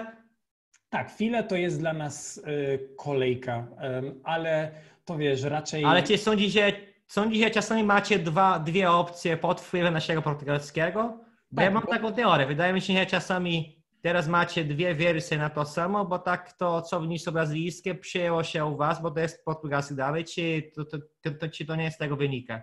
Nie, niekoniecznie. Ja myślę, że jest em, spora różnica między Porto i Lizbonem, tak? A, okej. Między północem em, a południem. Dobre. E, Ja bym powiedział, że bisze się używa na północy częściej, e, file w Lizbonie, ale y, możemy dobrowolnie używać. y, Okej. kraju. A kolejny przykład, e, jak mówisz bankomat, Multibanku. okej, to my mówimy kajsia automatyczna albo samo kajsie. A dla to jakby ciebie kasa- napisałem tutaj, na mogę zapytać, wypłacić pieniądze, jak, jak na to mówisz? Levantar dinheiro. Aha, no my mówimy sacar dinheiro. A sacar u was to znaczy sacar? Sakar to, za, to prawie jakby ukraść albo Ci Brazylijczycy nie wypłacą z bankomatu, to co my okradamy bankomat. Także może jest taki... Znaczy, ja bym powiedział, że tutaj akurat w Brazylii to trzeba uważać, bo e, zdarzyło mi się, że za, ka- za każdym razem praktycznie i raz właściwie byłem tylko na lotnisku i e, moja karta została sklonowana, więc jeśli jesteście w Mhm. Brazylii, to uważajcie na to, bo oni tam właśnie nie wypłacają pieniędzy z bankomatu, tylko O, okej. e, i tak dalej. Natomiast jeśli chodzi o, o, o, te- słowa, myślę, myślę, że tutaj e, ich jest, e, ich jest mnóstwo, prawda? I tutaj to widzimy, że czasem to są, e, to są słowa takie nawet e, codzienne, prawda? Czyli, e, czyli to nie jest tak, że wy na jakimś tam dalszym etapie znajdziecie, tak jak Polacy, myślę, wy, wydaje mi się, prawda, że gdzieś, no, tak jak mówi się na pole, na dwór, to są bardziej ciekawostki. Tutaj jest tak, że praktycznie na każdym etapie możecie wpaść w jakąś pułapkę, prawda? Ale powiedzcie też trochę o tych różnicach, skąd one się biorą, bo wydaje mi się, że w Brazylii dużo, zwłaszcza jeśli chodzi o nazwy owoców, czy to dużo jest nazw pochodzących z języków tych indiańskich, prawda? Czyli mamy słowo ananas, prawda? W każdym języku praktycznie ananas to jest ananas i w Portugalii to też e, nie, nie ma specjalnej różnicy, a w Brazylii to jest abacaxi, prawda? Czyli Abacaxi. tak, czyli to jest słowo, które pochodzi z języków indiańskich właśnie, prawda? Ale skąd jeszcze są różnice? Wydaje mi się, że słowo pociąg, prawda, też jest ciekawym e, słowem, e, bo jak, jak Marlon powiesz pociąg w Brazylii? Train. Train. A train. jak, a jak Ricardo powiesz w Portugalii? Komboju. I wydaje mi się, że tutaj akurat w Brazylii to słowo wzięte jest z języka angielskiego. Tutaj widzicie, jak oni train, prawda, zmienili, w, e, bo w Brazylii tak naprawdę tych pociągów za dużo nie ma, Tak. E, Natomiast w momencie, kiedy ta kolej była gdzieś tam e, się pojawiała, to Brytyjczycy, prawda, bo Brytyjczycy ją gdzieś tam przywieźli, więc z języka angielskiego, a to już był taki moment, gdzie ta Brazylia i Portugalia były oddzielone, więc, więc to jest, Ale to nie znaczy, że, że Mm. portugalski nie ma zapożyczenia. Portugalski rapers też ma. Jak ty mówisz cu, na cukinia, Ricardo? Cukinia. E, Zucchini. Tak, cukinii? Aha, a, a, a, a, gdzie, mówią, a, a gdzie mówią courgette? A no rzeczywiście, kurżety też, też się mówi. No. No bo to jest wzięte z, francuskiego niby, mi się wydaje. A my mówimy abobrinha, bo pochodzi od słowa abobura. Abobura to jest dynia i my porównujemy. I w ogóle w Brazylii jest taka tendencja, aby nazywać nowe rzeczy nieznane, e, a, albo nadawać taką nazwę czegoś, co my mamy, ale dodajemy jeszcze jakąś, jakąś słowo. Na przykład tutaj mamy abobura i zdrobnienia abobrinha tworzy cukinię, czyli mała dynia, tak? Tak samo wszędzie jest limonką i cytryna. My na to wszystko mówimy limonka, tylko że jest limão, czyli to jest cytryna, a druga jest limão verde lub limão Tahiti. Znam raczej jako limão Tahiti, a zna jako limão verde, czyli dosłownie zielona cytryna. I my bardzo często tak robimy, że zamiast powiedzieć słowa, dajemy znany nam wyraz, ale jakieś dodatkowe słowa, albo trochę podmieniamy to, co mamy. Abobra, bobrinha, limão, limão verde. Nie? Eee, tak? Lody, jak, jak mówicie? Mamy- Słucham? Lody. Lody, a mówimy sorvete. I dla nas obojętnie, wszystkie sorvete to sorvete, a w Polsce jest takie, jest rozróżnienie jednak, nie? Lody i sorbet. Dla nas wszystkie Tak. sorvete, a dla was e, używa się, i też istnieje słowo sorvete, bo gelado to jest to, nie? Gelado to lody. Żelado, żelado to lody. I nawet mi się kojarzy lody. Lody, gelado. Masz ten lado jako lody, nie? Tak jest. I jak i żelado to też jest um, zimne. To, to oznacza Tak, zimne. ale, ale słowo sorbet w ogóle coś znaczy? To jest po prostu sorbet, czy to nie ma tego, tego wyrazu? W, w, w języku portugalskim u nas, wiesz co, y, nie sądzę. Y, Teraz, y, teraz mnie, zagięłeś, ale nie jestem pewien tutaj. Nie, myślę, że myślę, że po prostu żeladu i i tyle. Na wszystko. A powiedzcie, czy, czy różnice w pisowni też, bo kiedyś było tych różnic dużo więcej, wydaje mi się, że jednak e, gdzieś jest jakieś takie, taka chęć e, e, sprawienia, żeby ten język portugalski był jednak jednym językiem, co pewnie nigdy się nie zdarzy, bo tych wersji jest za dużo i one za, za bardzo się różnią, ale wydaje mi się, że była taka próba dostosowania pisowni trochę, żeby, żeby ta Tak. pisownia portugalska i brazylijska zaczęły się przypominać, ale są chyba jakieś różnice cały Tak. czas. E, Także jakbyście mogli może Ricardo... Po pierwsze, niektóre literki, które są pisane, nie są wymawiane, e, już nie są pisane, ale u nas zostały, bo są wymawiane. Na przykład e, kontakt to jest kontatu, bez tego k, kontatu, ale skontaktować się to my mówimy kontaktar-se, kontaktar-se. Tam jest C wymawiane jako ki, né? Więc możemy mówić kontaktar-se com alguém. I chyba w Portugalii nie piszą tego C, bo oni sami mówią kontatar, prawda? Konrad, E, no, no, Ricardo. no. Kontaktarse. A, czyli e, i mówicie kontaktu też? Tak, mówimy kontaktu. W tym przypadku tak, ale na przykład my nie mówimy recepcją, y, czyli um, przychod... Ten P, recepcja też, albo recepcja. Recepcja, recepcja, tak. My, my mówimy bez P, y, bo wymawiamy recesją. I przez to, że, że nie wymawiamy y, tego P, to też nie piszemy go. Już, bo, bo kiedyś nie pisało, nie? A my Dokładnie. piszemy go, bo dalej my wymawiamy tylko, tylko jako pi, jakby napisane PI. Recepção, czyli masz tam tylko P, ale wymawiamy PI. Ale są a propos e, akcentowania takich znaków graficznych, jest różnica. Na, e, napisałem tam, dla ciebie chyba tam widzisz, taki kapelusz, tak? U nas mówimy na, na to chapeuzinho, a czy to jest nazywane grampinho u was, czy to, to grampinho to jest coś innego? To, to pochodzi z łaciny, y, to się nazywa akcent circumflexus, więc my nazywamy to accentu circumflexu. No to Tak, widać to- od razu różnicę między. Portugalczykami, czyli Portugalczycy nazywają z łaciny, prawda, circumflex i tak dalej, a e, e, Brazylijczycy nazywają kapelusi. Tak, tak, tak, chapeuzinho. Ty się śmiesz? Chapeuzinho, tak, ale Polacy mówią daszek. Moi uczniowie mówią daszek. Dla mnie ciekawe skojarzenie. Ja widzę tam kapelusz. Polacy widzą daszek. A ty, Konrad, ja- ja- jak na to mówisz? Ja, czy ja różnie, to zależy. A czy też e, Ale ty, jak to uważasz? Bo tu Polacy mówią daszek.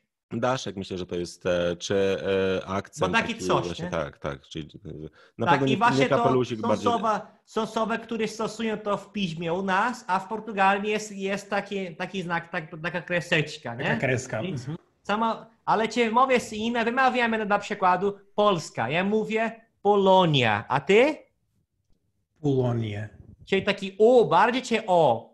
O otwarty, taka czysta sama. Polonia. A drugi przykład? Fenomenu, bo tam też mamy kapelusz. Fenomenu. A ty jak ty mówisz? Fenomenu. Fenomen. A kolejny przykład, e, to napis- napisałem. Ge- czekaj. geniusz na przykład. Y, ż- Żeniu. A, my mówimy geniu, okej, a tam jest kapelusz. Ten sport, teni, tenis, tenis. A ty? Taki bardziej E otwarty, tenis. Tak, dla, dla Polaków to myślę, że to e, nie ma znaczenia, bo my i tak nie rozróżniamy zamkniętego i otwartego. E, my słyszymy i tak to samo. Ale powiecie, jeszcze ostatnia rzecz taka, która jest, e, myślę, dużą różnicą, to są różnice w gramatyce, bo jest sporo, czyli to jest ta, to coś takiego, bo powiedzmy zapisywanie, prawda, czyli e, słów, to też w języku angielskim czasami spotkamy, prawda, że troszkę inaczej zapiszemy słowo tam kolor na przykład, prawda, w języku angielskim, amerykańskim, brytyjskim jest inaczej zapisywane ale różnice w gramatyce. Wydaje mi się, że one są duże. I trochę o tym już powiedzieliśmy, bo e, e, tu Ricardo wspominał o tej formie tu, prawda? Czyli ty, która ma swoją oddzielną odmianę, prawda? W języku e, brazylijskim, tej wersji portugalskiego, użyjemy formy você, która ma taką samą odmianę jak pan, pani, on, ona, prawda? A do tego jest jeszcze forma my, prawda? Czyli w języku portugalskim, europejskim użyjemy formy nosz, czyli my i też mam, musimy się nauczyć kolejnej formy, podczas gdy Brazylijczycy oczywiście e, idąc na skróty, e, mówią agenci, czyli tak jakby ludzie, czyli Ludzie. my, prawda? Czyli i też używają tej formy tak jak, czyli ludzie idzie, bo agenci Tak. akurat jest w liczbie pojedynczej, więc macie, tak jakby ucząc się tej wersji brazylijskiej, macie dwie formy mniej. Ale czy są jeszcze jakieś inne różnice? Czy Tak, dodam Konrad, e, mamy tak naprawdę cztery formy mniej Konrad, bo tak naprawdę są dwie opcje. Albo jest jedna forma ja, powiedzmy słowo mówić, ok? Ja mówię, eu falo. I reszta. Czyli ty mówisz, você fala, słowo fala. Pan mówi, o senhor fala. My mówimy, a gente, tak mówisz, a gente fala. Oni mówią, eles fala. Tylko, że ta, ta wersja, taka ta opcja, wzór, że masz dwie, dwie wersje, ja i reszta osób, przez niektóre jest to, to traktowane jako, jako błędna forma. Tylko, że przez niektórych, niektórzy mówią to cały czas, a niektórzy tak jak ja mieszają, bo druga, druga opcja jest to, że masz trzy formy dla e, osobowe, dla czasownika. Ja, oni, czy panowie, państwo, one, tak? I reszta, czyli my, on, ona. Przykładowo tutaj ten fala, nie? czyli eu falo, tak? A teraz forma oni, one, panowie, państwo, panie, tak? Albo też e, wy, to będzie eles, eles falam, taki on, taki nós sabemos. Eles falam, elas falam, vocês falam, né? I trzecia opcja, fala, czyli my, on, ona, pan, pani i ty, né? Czyli você fala, ele fala, a gente fala, né? Czyli pierwsza wersja, tylko dwie formy dla czasownika jest uważana za niepoprawne przez niektórych, czyli bo masz formę tylko ja i reszta cała, nie? A ten drugi system, ten drugi wzór, masz formę na ja, tak? Osobną formę na wy, panowie, państwo, panie, oni, one. I, o forma, i, i, i forma tylko na my, on, ona, pan, pani uh, i, co, i, i tak, i tyle, nie? Jeżeli chodzi w ogóle o liczbę mnogą, my rzadziej korzystamy z tego. Bardzo często, bardzo często możemy wyrazić liczbę mnogą za pomocą liczby pojedynczą. To jest super jakby przyjęte zjawisko w Brazylii. Bardzo często, bardzo często masz na myśli liczbę mnogą, ale mówisz przez liczbę pojedynczą. Nie? I, to, I to nie jest uważane za błąd. Możesz tak mówić w liczbie mnogiej, jeżeli chcesz, a jeżeli nie chcesz w liczbie pojedynczej. Jest jedna sytuacja, gdzie to jest uważane za błąd. Jak liczysz, tak? Jeżeli mówię, e, powiedzmy, e, abacaxi, tak jak mówi Konrad, abacaxi, ananas. Jeżeli chcę mówić dwa ananasy, to mogę mówić teoretycznie dois abacaxi, ale dużo ludzi będzie kręciło nosem i mówią, nie, to jest niepoprawne, dois abacaxis i S na końcu jeszcze, nie? Tylko, że dużo ludzi miesza, tak jak ja. Ja nie, nie mogę mówić, że ja trzymam się tylko jednego systemu. Ja mieszam, raz mówię e, eles fala, raz mówię eles falam, raz mówię dois abacaxi, raz mówię dois abacaxis. Trochę tak mieszam, chyba z powodu kontaktu z innymi ludźmi w Brazylii ale jest dużo, więcej takich uproszczeń. Damy kolejny przykład. Słowo musisz, to bardzo często w Portugalii to może być, że tens de, prawda Ricardo? Tens tak. de, deves, né? U nas też mamy zupełnie inną konstrukcję. Możemy mówić, na przykład, musisz mówić, né? Mogę, mogę tak tłumaczyć. É para você falar. Dosłownie jest dla ciebie mówić. Jest dla ciebie mówić. Czyli to bardzo inaczej, né? bardzo inne niż musisz. Tens de falar, é para você falar. Kolejny przykład. Jak coś teraz się dzieje, robię coś teraz, po angielsku się nazywa present continuous, taki czas teraźniejszy ciągły, chyba tak się nazywa, nie? Jeżeli chcę mówić, że ja teraz mówię, mogę mówić w Brazylii, tô falando, albo eu tô falando. Tô znaczy jestem. Tô, zaraz Ricardo pode dar a wersję portugalską, ale eu tô falando i tem ando, ta końcówka, falando, ando, ta końcówka się pojawia bardzo często w czasownikach. Na polsce się tłumaczy się jako końcówkę oncy, czyli jestem mówiący, albo onc, jestem mówiąc, nie? albo mówiąc, rozmawiając, dogada się z ludźmi. Też mogę mówić falando, falando, a gente se entende, né? Się pojawia ta forma. I w Portugalii chyba rzadziej z tego korzystają, nie? Że, nasz kolega wytłumaczy zaraz, ale głównie są te różnice, nie? Dokładnie. Y, my, my raczej w Portugalii używamy tego bez okolicznika, czyli no, właśnie mówię teraz taki przykład. Eu estou a falar, czyli falar to jest bezokolicznik czasownika mówić, falar, więc tak naprawdę estou a falar, nie estou falando. Falando, uwaga, ando. Ando, ando, właśnie, nosem, nosem, trzeba, trzeba powiedzieć. I, I ogólnie ten skrót, eu, to, to co mówiłeś. To, ja samo jestem. o, to, o, o. Eu, to, no właśnie. Właśnie mm, dla nas to, to uważamy jak, jako błąd, prawda? Myślę, że taki w Portugalii taki nastolatek y, na czacie by pisał to, tak? Więc um, ogólnie to wykazuje elastyczność wersji brazylijskiej. Um, natomiast w, w, w odmianie europejskiej to może jesteśmy bardziej rygorystyczni, w sensie jak, jak ten język ma wyglądać i jak te formy y, czasownika mają, mają wyglądać, prawda? Mhm. Um, więc to jest po prostu inne podejście.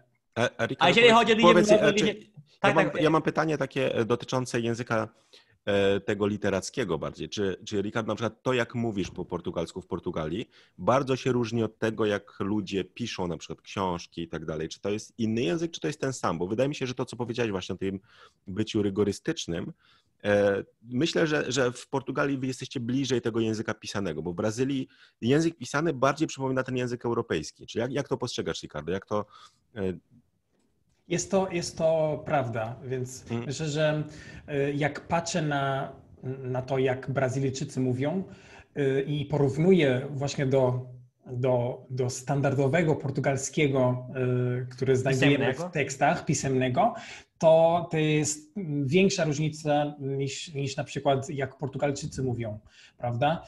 I, no i to może być korzyść lub wada, prawda? Więc ogólnie y, to sprawia, że y, Portugalczycy mówią w sposób bardziej złożony, ale jednak jeżeli zależy Ci na tym, żeby dobrze pisać w języku portugalskim, to, to wtedy nie musisz się nauczyć jakby dwóch osobnych języków, prawda? Bo, bo teraz oczywiście teraz mniej ludzie, ludzie czytają i, i tak dalej, więc te skróty jakoś tam się pojawiają nawet w, w Portugalii teraz, ale bym powiedział, że e, bliżej mówimy do, do języka pisemnego i, i że te zasady są mniej elastyczne, w sensie, że, że nie możesz jakby łamać te zasady mhm. i, i, że nie tolerujemy tak, tak, takich um, zmian, e, tak jak Brazylijczycy.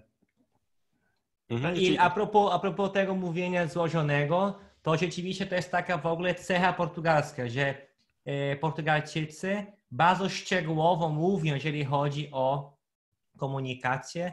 I tu, skoro też uczę portugalskiego z Portugalii, przepraszam Ricardo, nie jestem Portugalczykiem, ale próbuję jak najwierniej okay, przekazywać waszą wersję portugalskiego. Okay? I też mówię właśnie do, do uczniów, żeby muszą na to uważać, że nie wolno za bardzo skrótowo mówić w Portugalii, bo u was tak za bardzo nie jest w kulturze. I tu nieraz uczniowie się śmieją z tego. Wydaje mi się, Konrad może, może to e, potwierdzić albo nie, że sposób komunikacji, sposób przekazywania informacji w Polsce jest bardziej zbliżony do naszego sposobu w Brazylii, że bardzo tutaj na skróty ludzie mówią, jest ok, każdy jest w stanie podrozumiewać to, co kryje się za, za twoimi słowami, albo rozumieją to, czego nie powiedziałeś, tak? A w Portugalii może jest większy problem z tym, żeby rozumieli, co jest niewypowiedziane, tak? Nie chodzi o to, że nie macie sarkazmu. Też macie sarkazm, żarty, suchary, wszystko to istnieje, ale jak masz przekazywać informacje, to po prostu szczegółowo wszystko opisujesz i tak dalej. I do tego nawet mam tu przykład. To jest taka zabawka, okej? Okay? Tu widzimy, że ma tutaj klapeczkę na dole i jakby wyglądała instrukcja wymiany tej, tej, tej baterii tu na, dole dla bateryjczyka. Pisemna czy, czy ustne e, instrukcje. Otwórz klapeczkę, wymień baterię. Koniec instrukcji. Brazylijczyk już rozumiał, o co chodzi. A dla Portugalczyka, no, musi być to pięknie, szczegółowo, to nie jest tak, nie? Weź zabawkę, odwróć, zobacz na dole klapkę, a drugą ręką weź śrubokręt. Odkręć śrubę, która jest na lewym górnym rogu i wyjmij klapeczkę. Za pomocą końcówki lewej e, e, środka, e, śrubokręta wyjmij zużyte baterie i na ich miejscu włóż nowe. Potem sadź z powrotem klapeczkę i odpowiednio dokręć, aby się nie otworzyła. Koniec, możesz teraz się, się bawić. Dokładnie. No myślę, że to jest taki, taki e, ekstremalny przypadek. E, no tak, tak, tak, tak. Ale, Ale nie wiem, o co chodzi, tak? Jakieś ziarenko prawda się kryje w tym, co sądzisz? To jest, ja myślę, że powiem tak, że, że jest mniejsze ryzyko, że por, jakiś Portugalczyk będzie zepsuł y, tej zabawy, prawda? A tak, tak, i zgadzam się. A, a powiedz, e, Ricardo, bo tutaj e, wydaje mi się, że trochę to, co Marlon mówi, to wynika też z tego, że Brazylijczycy, jak opowiadają dowcipy, to często w tym dowcipach, jak się pojawia Portugalczyk, to on nie jest taką najbardziej inteligentną osobą i oni trochę chyba tutaj takiego sarkazmu i trochę się śmieją z tych Portugalczyków. Ale powiedz, jak generalnie Brazylijczycy są postrzegani przez Portugalczyków. Czyli może też opowiedzcie właśnie, jak wzajemnie się postrzegacie, czyli e, czy to jest taka jakaś jest rywalizacja może między Portugalczykami a Brazylijczykami, czy sympatia, czy jak, jak to jest? Może... Bardzo, Ricardo, powiedz wszystko. Ja nie będę obrażony, ok? Zapomnij o mnie, nawet wyłączę kamerę i gadaj. Nie, to jest tutaj tendencyjne pytanie, ja nie wiem, co, co ja tutaj mam powiedzieć, ale nie, wiesz co, właśnie myślałam o tym, e, bo, bo y, ty, ty kiedyś tam Y, no, ktoś, ktoś mnie zada, zadawał to, takie pytanie. Ja myślę, że ogólnie Portugalczycy nie za bardzo mają żartów o, o, o Brazylijczykach i o, i o Brazylii ogólnie. Um, tak naprawdę my czujemy taką więź z nimi, tak? Bo no, tak jak mówiłem, dorastaliśmy oglądając ich telenoweli i tak dalej. I, I po prostu ja osobiście y, postrzegam y, Brazylię no i Brazylijczyków jako takie, no, takie osoby pokorne, śmieszne, wesołe. No, wiadomo, że myślę, że to, że oni myślą, że jesteśmy mniej inteligentni, to, to, to, to, jest, to jest śmieszne dla nas, prawda?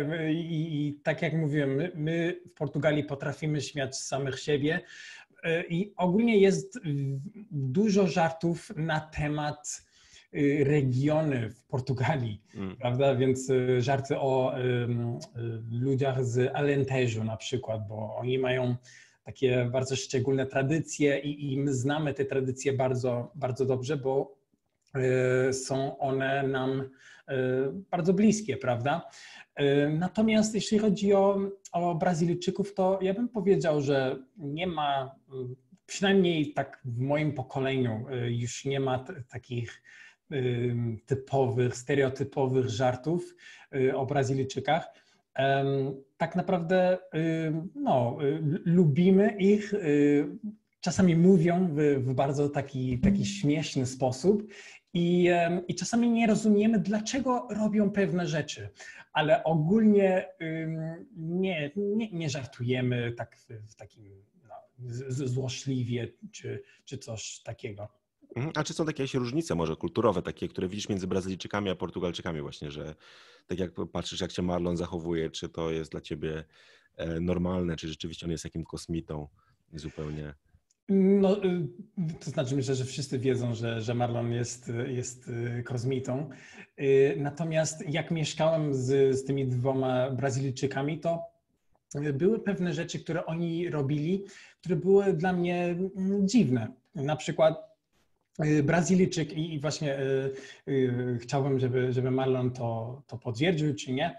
Brazylijczycy ogólnie jak jedzą obiad, to y, lubią dzielić się małymi porcjami. Tak, więc oni y, właśnie z, z mojego doświadczenia wynika, że jak się wybraliśmy do, do jakiegoś miejsca na obiad, to y, kolega Brazylijczyk właśnie chce zam, zamówić inne danie niż moje, tylko po to, żeby mieć okazję dzielić się małymi porcjami. I, i przez to ma, ma okazję, żeby, żeby jeść jakby moje danie i, i, i jego danie. I to jest takie tak śmieszne. Ja, ja, jestem jedynakiem, nigdy po prostu nie byłem mhm. przyzwyczajony do tego, żeby dzielić się jedzeniem, y, ale e, ogólnie mają takie, y, takie śmieszne y, zwyczaje, prawda? Ogólnie też właśnie myślę, jeśli, są jakieś tam inne na przykład ryż z fasolą. Oni uwielbiają y, jeść ryż z fasolą. Jakby co jesz na obiad? No, Brazyli, Brazylijczyk jest, jest duża szansa, że mówi no, ryż z fasolą. E, I... Nie, to ja pamiętam, że to, bo to jest takie danie dla nich, tak jak my mamy ziemniaki, to oni mają ryż z fasolą i oni zawsze mówią, że fasolę trzeba jeść, bo to jest żelazo, jak nie jemy żelaza, to umrzemy i tak dalej. I ja im wtedy mówię, ale słuchajcie, ale ja nie jem fasoli, codziennie i żyje. A oni jak to? To, jest niemożliwe, więc e, tam być może są całe jakieś teorie naukowe właśnie, że trzeba ryż z fasolą, a to jest takie dla nich podstawowe, że nawet ci biedni ludzie e, i to też jest sprytne takie właśnie, bo fasola daje, po pierwsze ten ryż nie jest suchy, prawda, to jest taki właśnie sos, który się miesza z ryżem i to e, oni do tego tam mięso dodają i tak dalej, ale to jest też ciekawe, że dla nich to jest takie podstawowe, że nawet, e, co ciekawe, też w polskiej restauracji, jak byłem w Rio, jest polska restauracja Copacabana, Copacabana nie, ona się nazywa, bo to jest na, na, w Copacabanie tamtej dzielnicy i tam oczywiście dają ziemniaki, mięso i, i pytają się, czy ryż też chce do tych ziemniaków. Nie, nie, jestem Polakiem, ryżu tutaj do ziemniaków nie jemy, a oni traktują ziemniaki jako takie warzywo właśnie, więc też ryż, fasola najlepiej i, i, i, i tak dalej. Już wiadomo, co się dzieje po mhm. fasoli, prawda? Więc my... Ja się zgadzam jak najbardziej z tym, co mówicie. Ja niestety będę, będę, będę zaraz wasze uciekać, bo będę z maluchem, co żona będzie miała dać daną pracę. Ale dziękuję za e, waszą rozmowę i kontynuujcie, okay? Temat jest bardzo, bardzo ciekawy. Na pewno jeszcze Ricard ma dużo do pogadania, ale jeżeli chodzi o naszą opinię, to przekazuję Konrad, Konradowi, bo on wie, już był kilka razy w Brazylii, to praktycznie myśli tak jak my też. Okay? No za... na, na, nareszcie będę mógł krytykować Brazylię teraz. Tak, tak jest. I tu żegnamy się z Beniaminkiem. O, nikt go nie widział jeszcze. Żegnamy się, okay? Pozdrawiam tam Ule i Bruno Ricardo, ok? Rodzinkę. Dziękujemy, dziękujemy ślicznie i pozdrawiamy. Tak jest, dziękujemy wam Teraz oczywiście e, prosimy... Ale jeszcze nie kończycie. Tak, i prosimy wszystkich, którym e, synek Marlona bardzo się podoba, niech dają lajki pod wideo. Więc e, także to specjalnie Marlon sprytnie go tutaj przyprowadził. Tak jest. I a propos RODO, to dostałem właśnie od jego mamy pisemną zgodę, więc nie ma żadnego prawnego problemu. Trzymacie się. Tak, dobrze, super, dzięki. A Ricardo, do Ciebie pytanie też, e, bo mówimy tutaj o Brazylijczykach, Portugalczykach, a powiedz mi Portugalczycy i Polacy, bo to, to już też masz doświadczenie tutaj, wydaje mi się dosyć duże. Jakie są różnice między, e, czyli jak, jak Portugalczycy postrzegają Polaków? Jak wy nas widzicie? Tak, to jest ciekawe pytanie i je właśnie nawet y, napisałem w grupie Portugalczyków mieszkających w Polsce e, o ich opinie. No, jakie mają pozytywne lub mniej pozytywne e, opinie na temat, jak, jak mieszkają Polacy i, i, i jak jak to jest y, życie w Polsce.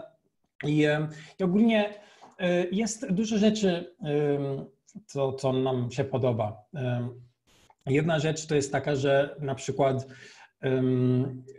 Polacy ogólnie wychodzą z pracy tak o tej samej porze, prawda? Ogólnie pracują od 8 do 16 i wiesz, y, możesz właśnie liczyć na to, że o 16 to wszyscy wychodzą z pracy.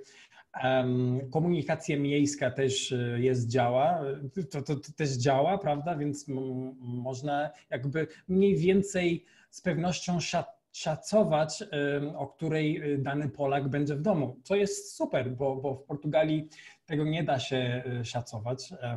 Ogólnie ludzie robią dużo przerw y, w pracy w ciągu dnia, co sprawia, że y, dzień pracy się y, przedłuża.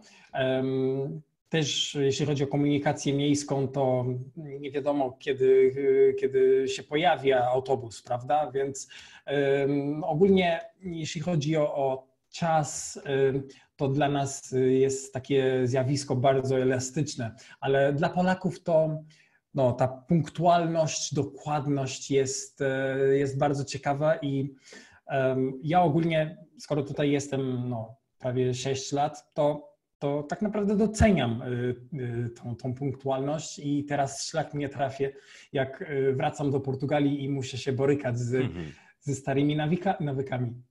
To jest ciekawe. Um, tak, ogólnie Polska też jest znana za gościnność e, w domu, prawda? Może obsługa klienta, tak według niektórych opinii, nie jest e, najlepsza, ale jak jakby poznajemy nowych osób i no, one, one stają dla nas bliższe, to potem jest ta gościnność naprawdę się pojawia. Co jeszcze oni napisali? Portugalczycy doceniają y, dbałość polskich kobiet. Myślę, że tutaj to nie jest y, y, nic no, nowego. Czysto, czystość w miastach też. To, to też jest jedyna rzecz. To jest jedna rzecz właśnie ciekawa, bo w Portugalii ogólnie nie ma takiej, takiej staranności, żeby żeby mieć taką czystość, czystość w miastach, co, co jest no, szkoda. I, I ogólnie cena produktów, poczucia humoru Polaków, e, szczególnie jeżeli alkohol wchodzi w grę. I, no, i, I to też jest e, dla nas bardzo ciekawe, jak Polacy spędzają wolny czas, prawda? Bo e, ogólnie Portugalczycy lubią plaży, ocean i, i wiadomo, co, co się robi na plaży, no to po prostu się położysz i um, się, się opalasz, tak? Um, i, I okazuje się, że dla większości Polaków to jest zbyt nudne. Tak? Na początku ja tego nie, nie, nie zrozumiałem, y, że w sobotę możesz się obudzić o 6 rano tylko po to, żeby jechać autobusem z ciężkim plecakiem y, y, do, tam, tam na, na, polski las, czy y, może mm, w, w góry. I, I potem się męczyć cały dzień, no, o co chodzi, prawda? Ale mm, tak naprawdę teraz rozumiem, no, dlaczego ludzie to robią, i to też może być relaksujące w pewnym sensie, niż bardziej, bardziej relaksujące niż leżenie na plaży. Tak, więc znaczy, jest... myślę, że w Portugalii jest łatwiej leżeć na plaży, bo macie praktycznie ten kraj, z każdego miejsca jest blisko, prawda? A u nas, no, jak ktoś mieszka na południu Polski, no to musi już kawałek podjechać, więc, e, więc zawsze, jest, zawsze jest ciężej. Dokładnie, y, więc myślę, że dla nas y, jakoś łatwiej jest, też jest no, rzeki, też mamy takie sztuczne plaże przy rzeczce, więc no, zdecydowanie jest, jest, łatwiej jest nam pi, pić kieliszek wina albo tro, no, może kawę i, i leżeć na plaży. A, a powiedz mi, jak e, Polacy, którzy mają kontakt z Portugalczykami, czy widzisz, jak, jak was postrzegają? Czy macie jakieś cechy takie, które Polakom się podobają, które może trochę zazdrościmy wam czegoś? Jak, jak to widzisz? Czy, albo może są jakieś negatywne cechy, o których chcesz opowiedzieć? Czy... Tak, i, i to, i to, prawda? Y, no, z, z, tych negatywnych to, to właśnie ten brak punktualności. Mhm. Y, myślę, że jest wkurzający dla, mhm. dla Polaków. No ja teraz doskonale ich rozumiem. Też zaskakujące jest to, że y, większość budynków czy domów e, nie ma izolacji, prawda? Bo ogólnie Portugalczycy wychodzą z założenia, że przecież mamy taki ciepły kraj i no, izolacja nie jest nam potrzebna. Tylko, że przez trzy miesiące zimą y, musimy ubierać kolejną kurtkę, jak chodzimy do domu, tak? Y, więc y, my do tego się przyzwyczailiśmy i, i no, dla nas to jest zupełnie normalne. Natomiast jak tutaj w Polsce ma, macie bardzo dobrą izolację, to wtedy to może być taki szok nie? W, w, w Portugalii. E, I tak, ogólnie też Polacy Y, napisali, że, y, że w Portugalii domy nie są aż tak przytulne jak w Polsce. I myślę, że to wynika z tego, że Portugalczycy nie lubią spędzać zbyt dużo czasu w domu, prawda? Myślę, że my zawsze doceniamy okazję, żeby wyjść y, na kawiarnię, no, rozmawiać z ludźmi na ulicy. E, bo tak naprawdę mamy na to pogodę i, i, i może nie czujemy takiej potrzeby, żeby mieć taki, takie przytulne domy. Więc to też była taka ciekawa obserwacja. Tutaj też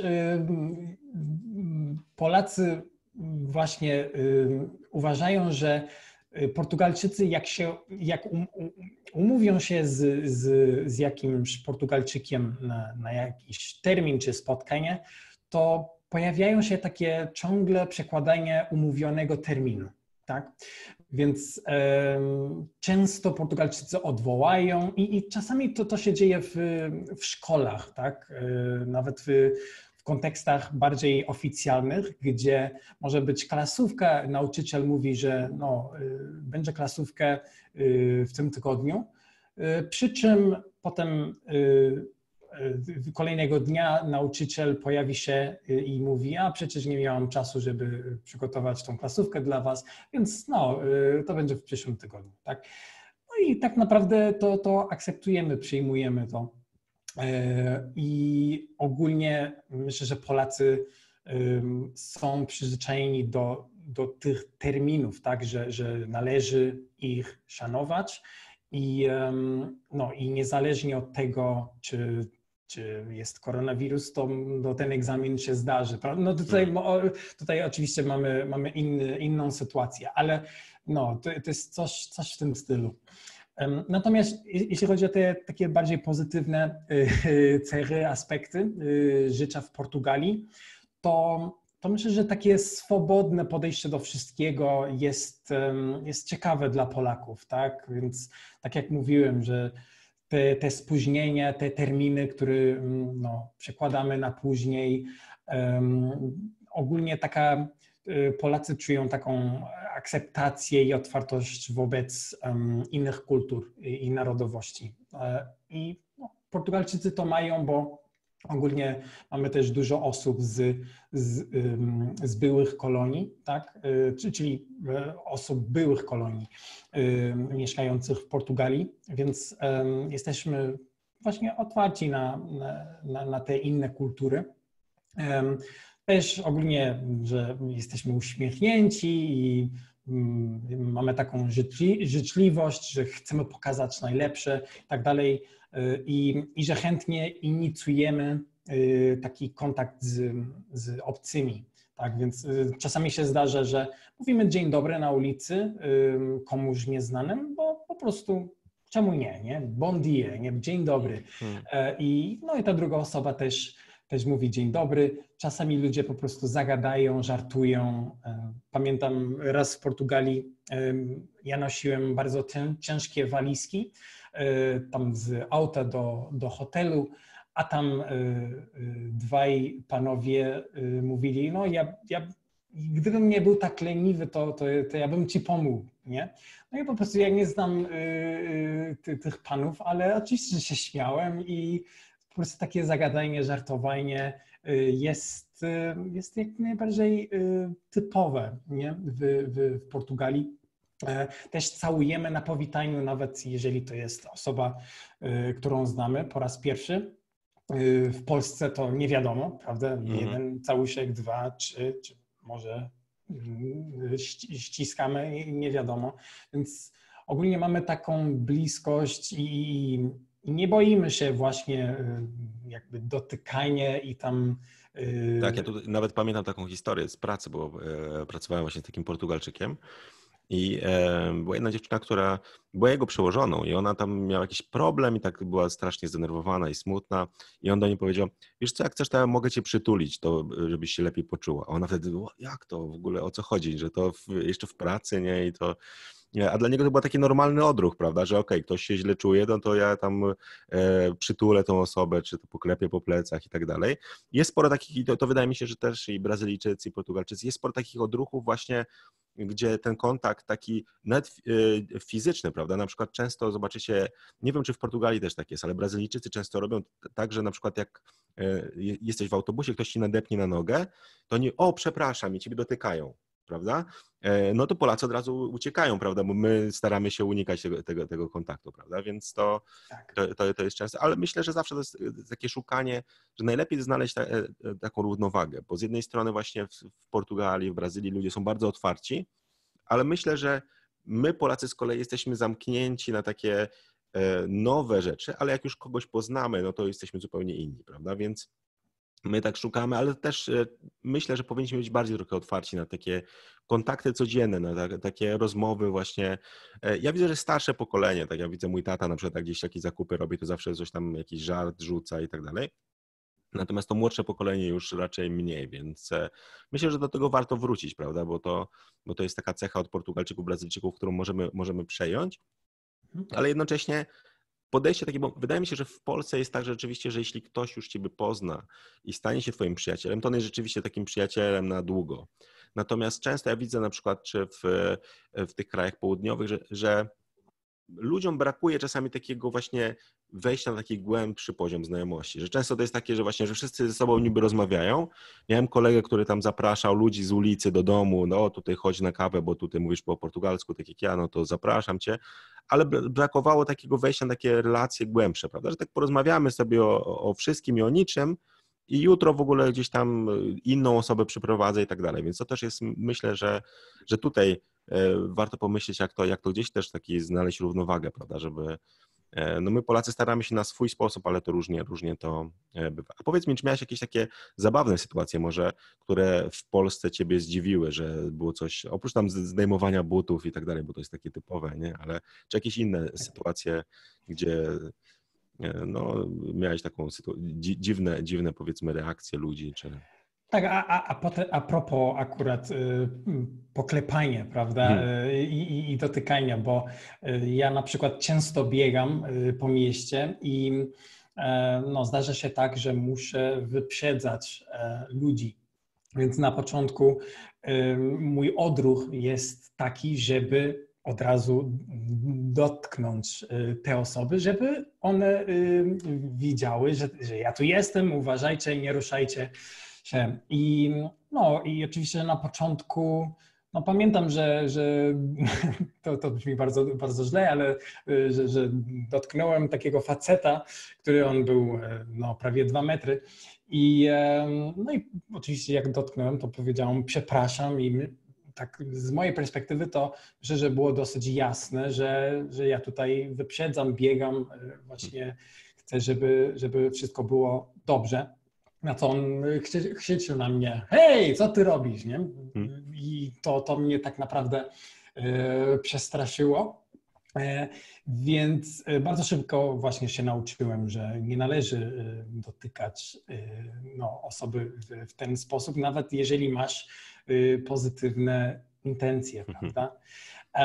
Też ciekawe jest to, że na przykład takie drobne wyrazy, takie e, codzienne wyrazy w, w języku polskim mają e, pewne znaczenie. Na przykład e, jak ktoś mówi dziękuję, jak polejesz komuś wodę, to znaczy nie, prawda? Mhm. Natomiast w Portugalii, jak mówisz dziękuję, to oznacza, że chcesz więcej. I, no i na początku to, to, to było ciekawe, jak po prostu to myślę, że byłem, byłem e, wtedy u teściowej i, e, no i teściowa akurat przygotowała taki bardzo smaczny kompot i no, ja chciałem e, więcej tego, tego się napić, no co jak powiedziałam dziękuję, to, to ona zawsze jakby nie dałem mi więcej, więc ja myślałem, że no, że ona może nie chce mi dać więcej, no okazało się, że, że to ja mówiłem... Tutaj jak teściowa ogląda, to będzie wiedziała teraz, żeby więcej kompotu dla ciebie. Nawet jak dziękuję, że jak dziękujesz, to właśnie... Dokładnie, dziękuję, to znaczy chcę więcej, zawsze chcę, y, że będzie chciał więcej. Dokładnie. To samo z y, dzień dobry, bo miałam taką sytuację, kiedy wróciłem do domu rowerem Y, z imprezy, prawda? I y, no, zaskoczyło mnie to, że y, policja właśnie przeprowadzą kontrolę rowerzystów, rowerzystom tak, na, na ulicy, więc to było też zaskakujące. Ale też zaskakujące było to, że dzień dobry w tym kontekście, jak policjant zwraca się do ciebie i mówi dzień dobry, to znaczy zatrzymaj się. I właśnie miałam taką sytuację, że myślałam, że, że ten pan policjant e, był taki miły policjant e, i mówił do mnie dzień dobry, nie? E, tak jakby życzył mi dobrego dnia, ale okazało się, że on chciał, żebym, żebym się zatrzymał tam do, do kontroli. Więc y, no, y, to, to, to był oczywiście, że... Więc tylko odpowiedziałeś dzień dobry i pojechałeś dalej, tak? Tak jest, y, odpowiedziałem dzień dobry, pojechałem dalej, okazało się, że tak, tak nie miało być, więc ale no, tam wtedy udawałem Greka, że nie wiedziałam o co chodzi, bo nie wiedziałam hmm. i, i wszystko było ok. Um, no więc oczywiście sytuacje, no, możemy tutaj godzinami y, y, gadać, też y, takie językowe, konflikty y, też się pojawiają. No bo wiadomo, polski jest, jest trudnym językiem dla przeciętnego Portugalczyka, więc te, te błędy się, mhm. się pojawiają naturalnie. Mhm. A powiedz mi, bo tutaj oczywiście jeśli ktoś chce się uczyć portugalskiego, zachęcamy do tego, żeby zapisał się na nasz kurs i do, do niego link damy pod wideo w 90 dni do portugalskiego i tutaj możecie wybrać wersja brazylijska albo europejska, także, także tutaj osoby, które przychodzą przez ten kurs naprawdę są bardzo zadowolone i tutaj polecają, bo mogą słuchać Ricardo codziennie albo Marlona, prawda, więc tutaj mamy do wyboru e, jedną z tych dwóch wersji, ale jakbyś miał dać takie rady, bo pewnie e, próbowałeś czy uczyłeś też języka portugalskiego Polaków, jakie rady byś im dał na początek, jeśli ktoś zaczyna naukę portugalskiego, o czym powinien E, pamiętać, czy może na co się przygotować, e, jakbyś mógł takie kilka rad na, na sam koniec już dać tym osobom, które chcą zacząć przygody z portugalskim. Jasne. E, po pierwsze, gratuluję, że się zdecydowałaś na język portugalski. To, to świetna decyzja, naprawdę. No, tak jak mówiliśmy wcześniej, myślę, że warto wybrać jedną wersję, trzymać się jednej wersji. I ogólnie no jest, jest dużo zasobów, prawda? Dużo, dużo kursów, dużo książek i tak dalej, więc um, myślę, że łatwo jest ludziom jakby wybierać dużo, mieć y, dużo zasobów, a potem y, nie wiedzieć dokładnie, y, no, jak, jak zacząć, prawda? Więc ja bym tak z doświadczenia i też tak jak, no, jak też z, doświadczenia, bo się uczę języków, e, wiem, że na początku lepiej wybrać jeden zasób, może być e, specyficzny kurs, może, może być książka lub podręcznik, jakiś dobry materiał z audio, tak? Bo no, tak jak właśnie mówiliśmy z Marlonem, ważne jest zwracać uwagę na, na, na te wymowy mhm. i, i nauczyć się wymowy od samego początku. I tak, więc ogólnie znaleźć taki jeden zasób, który został starannie przygotowany, jest taki dobry zasób słów, y, który zawiera najczęstsze słowa te, te, takiego języka na początku. Może y, jakiś zasób, który y, jest w stanie tłumaczyć gramatykę funkcjonalną, tak, z przykładami i tak dalej.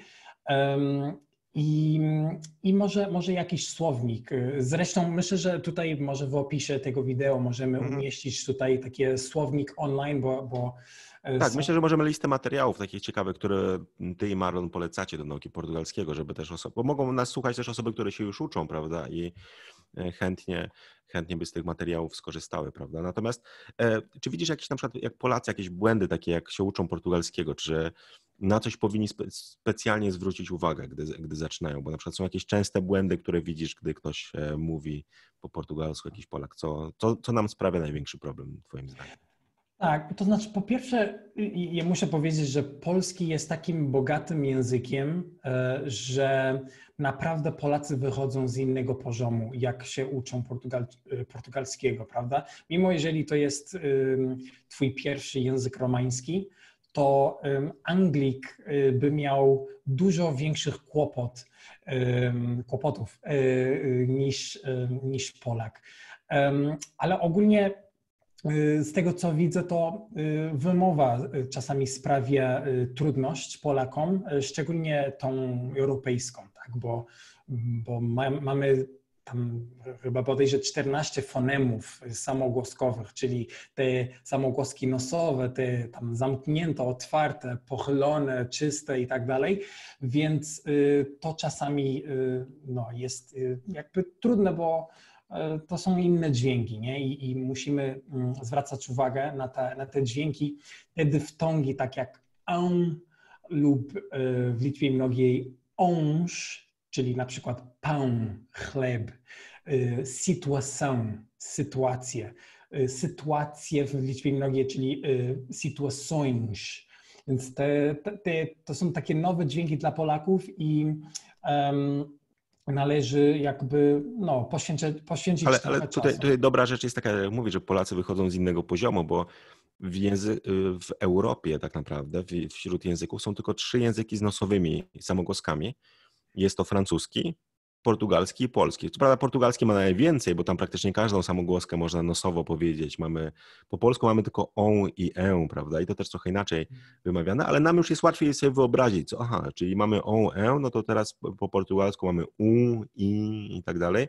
Czyli są te dźwięki, to jest, to jest, to jest e, taki plus, jak mówisz, że jak Anglik, no to w ogóle co to są nosowe dźwięki, to dla niego to już jest panika na samym początku, prawda? Więc my, my mamy trochę łatwiej, ale chyba masz rację rzeczywiście, że to, co sprawia największy kłopot, zwłaszcza na początku, to jest wymowa, prawda, zwłaszcza tej wersji europejskiej, bo też myślę, że ciężko może jest ludziom rozumieć ze słuchu, zwłaszcza kiedy Portugalczyk tam połyka trochę tych, czy wymawia mniej wyraźnie, bo Polacy też mają to do siebie, że to, co widzę po uczniach naszych, że oni pilnują tego, jak jest zapisane, bo my w języku polskim, jak pisze się A, to mówi się A, prawda? Mhm. Natomiast w języku portugalskim już tak do końca nie jest, prawda? Bo ważny jest, gdzie jest akcent. Czyli jak jest samogłoska nieakcentowana, no to wtedy już nie wymawiamy dokładnie tego, co jest zapisane, wymawiamy trochę inaczej, prawda? Więc trzeba tutaj, myślę, tak świadomie też analizować zapis e, i wymowę, prawda? Porównywać. To jest dobre, dobre myślę, ćwiczenie dla tych osób e, e, początkujących. Dobrze, myśl, myślę, że, że tych rad, czyli e, e, tak, jak, tak jak tutaj wspominam, zachęcam oczywiście do naszego kursu, także taka droga,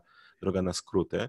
I e, jeśli ktoś będzie chciał jakieś więcej informacji, czyli patrzcie pod wideo, tutaj może zostawimy też jakieś namiary na Ricardo, żeby gdyby ktoś miał jeszcze jakieś pytania, czy potrzebował jakiegoś wsparcia z językiem tym portugalskim, europejskim, to oczywiście Ricardo bardzo chętnie będzie tutaj pomagał. Ale oczywiście, jeśli macie jakieś dodatkowe pytania, też zadawajcie w komentarzach. Myślę, że tu będziemy też zaglądać wszyscy i starać się Wam odpisywać na komentarze, bo to wtedy jest naj, najfajniej, bo możemy rzeczywiście taką interakcję mieć z Wami bezpośrednią.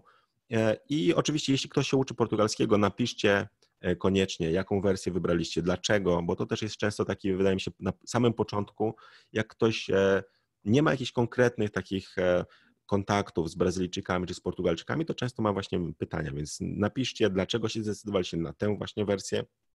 Także czekamy na wasze, na wasze komentarze i zapraszamy do subskrybowania naszego, naszego e, kanału. Także dzięki wielkie Ricardo za przybycie. Myślę, że jeszcze nie raz będziemy Cię zapraszali, także bo tutaj też o językach ja to widzę książkę do norweskiego w tle, więc e, więc e, tutaj nie ukryje się, prawda, że, że znasz więcej niż jeden język e, polski, prawda, więc, więc jest, jest, znamy się tutaj już od e, wielu lat, organizowaliśmy warsztaty wspólnie, więc myślę, że będziemy jeszcze działać, działać razem. Także zachęcamy generalnie na sam koniec wszystkich do nauki portugalskiego, bo tak jak mówię, że, jest, że gratulujesz takim osobom wyboru, bo to jest tak naprawdę bardzo ciekawy język, a jednocześnie E, wbrew pozorom bardzo przydatny, bo tym językiem posługuje się naprawdę bardzo dużo ludzi na całym świecie. Także dzięki wielkie Ricardo i dziękujemy wszystkim słuchaczom za wysłuchanie dzisiejszego odcinka. Także pozdrawiamy serdecznie i do zobaczenia już w kolejny piątek o 17.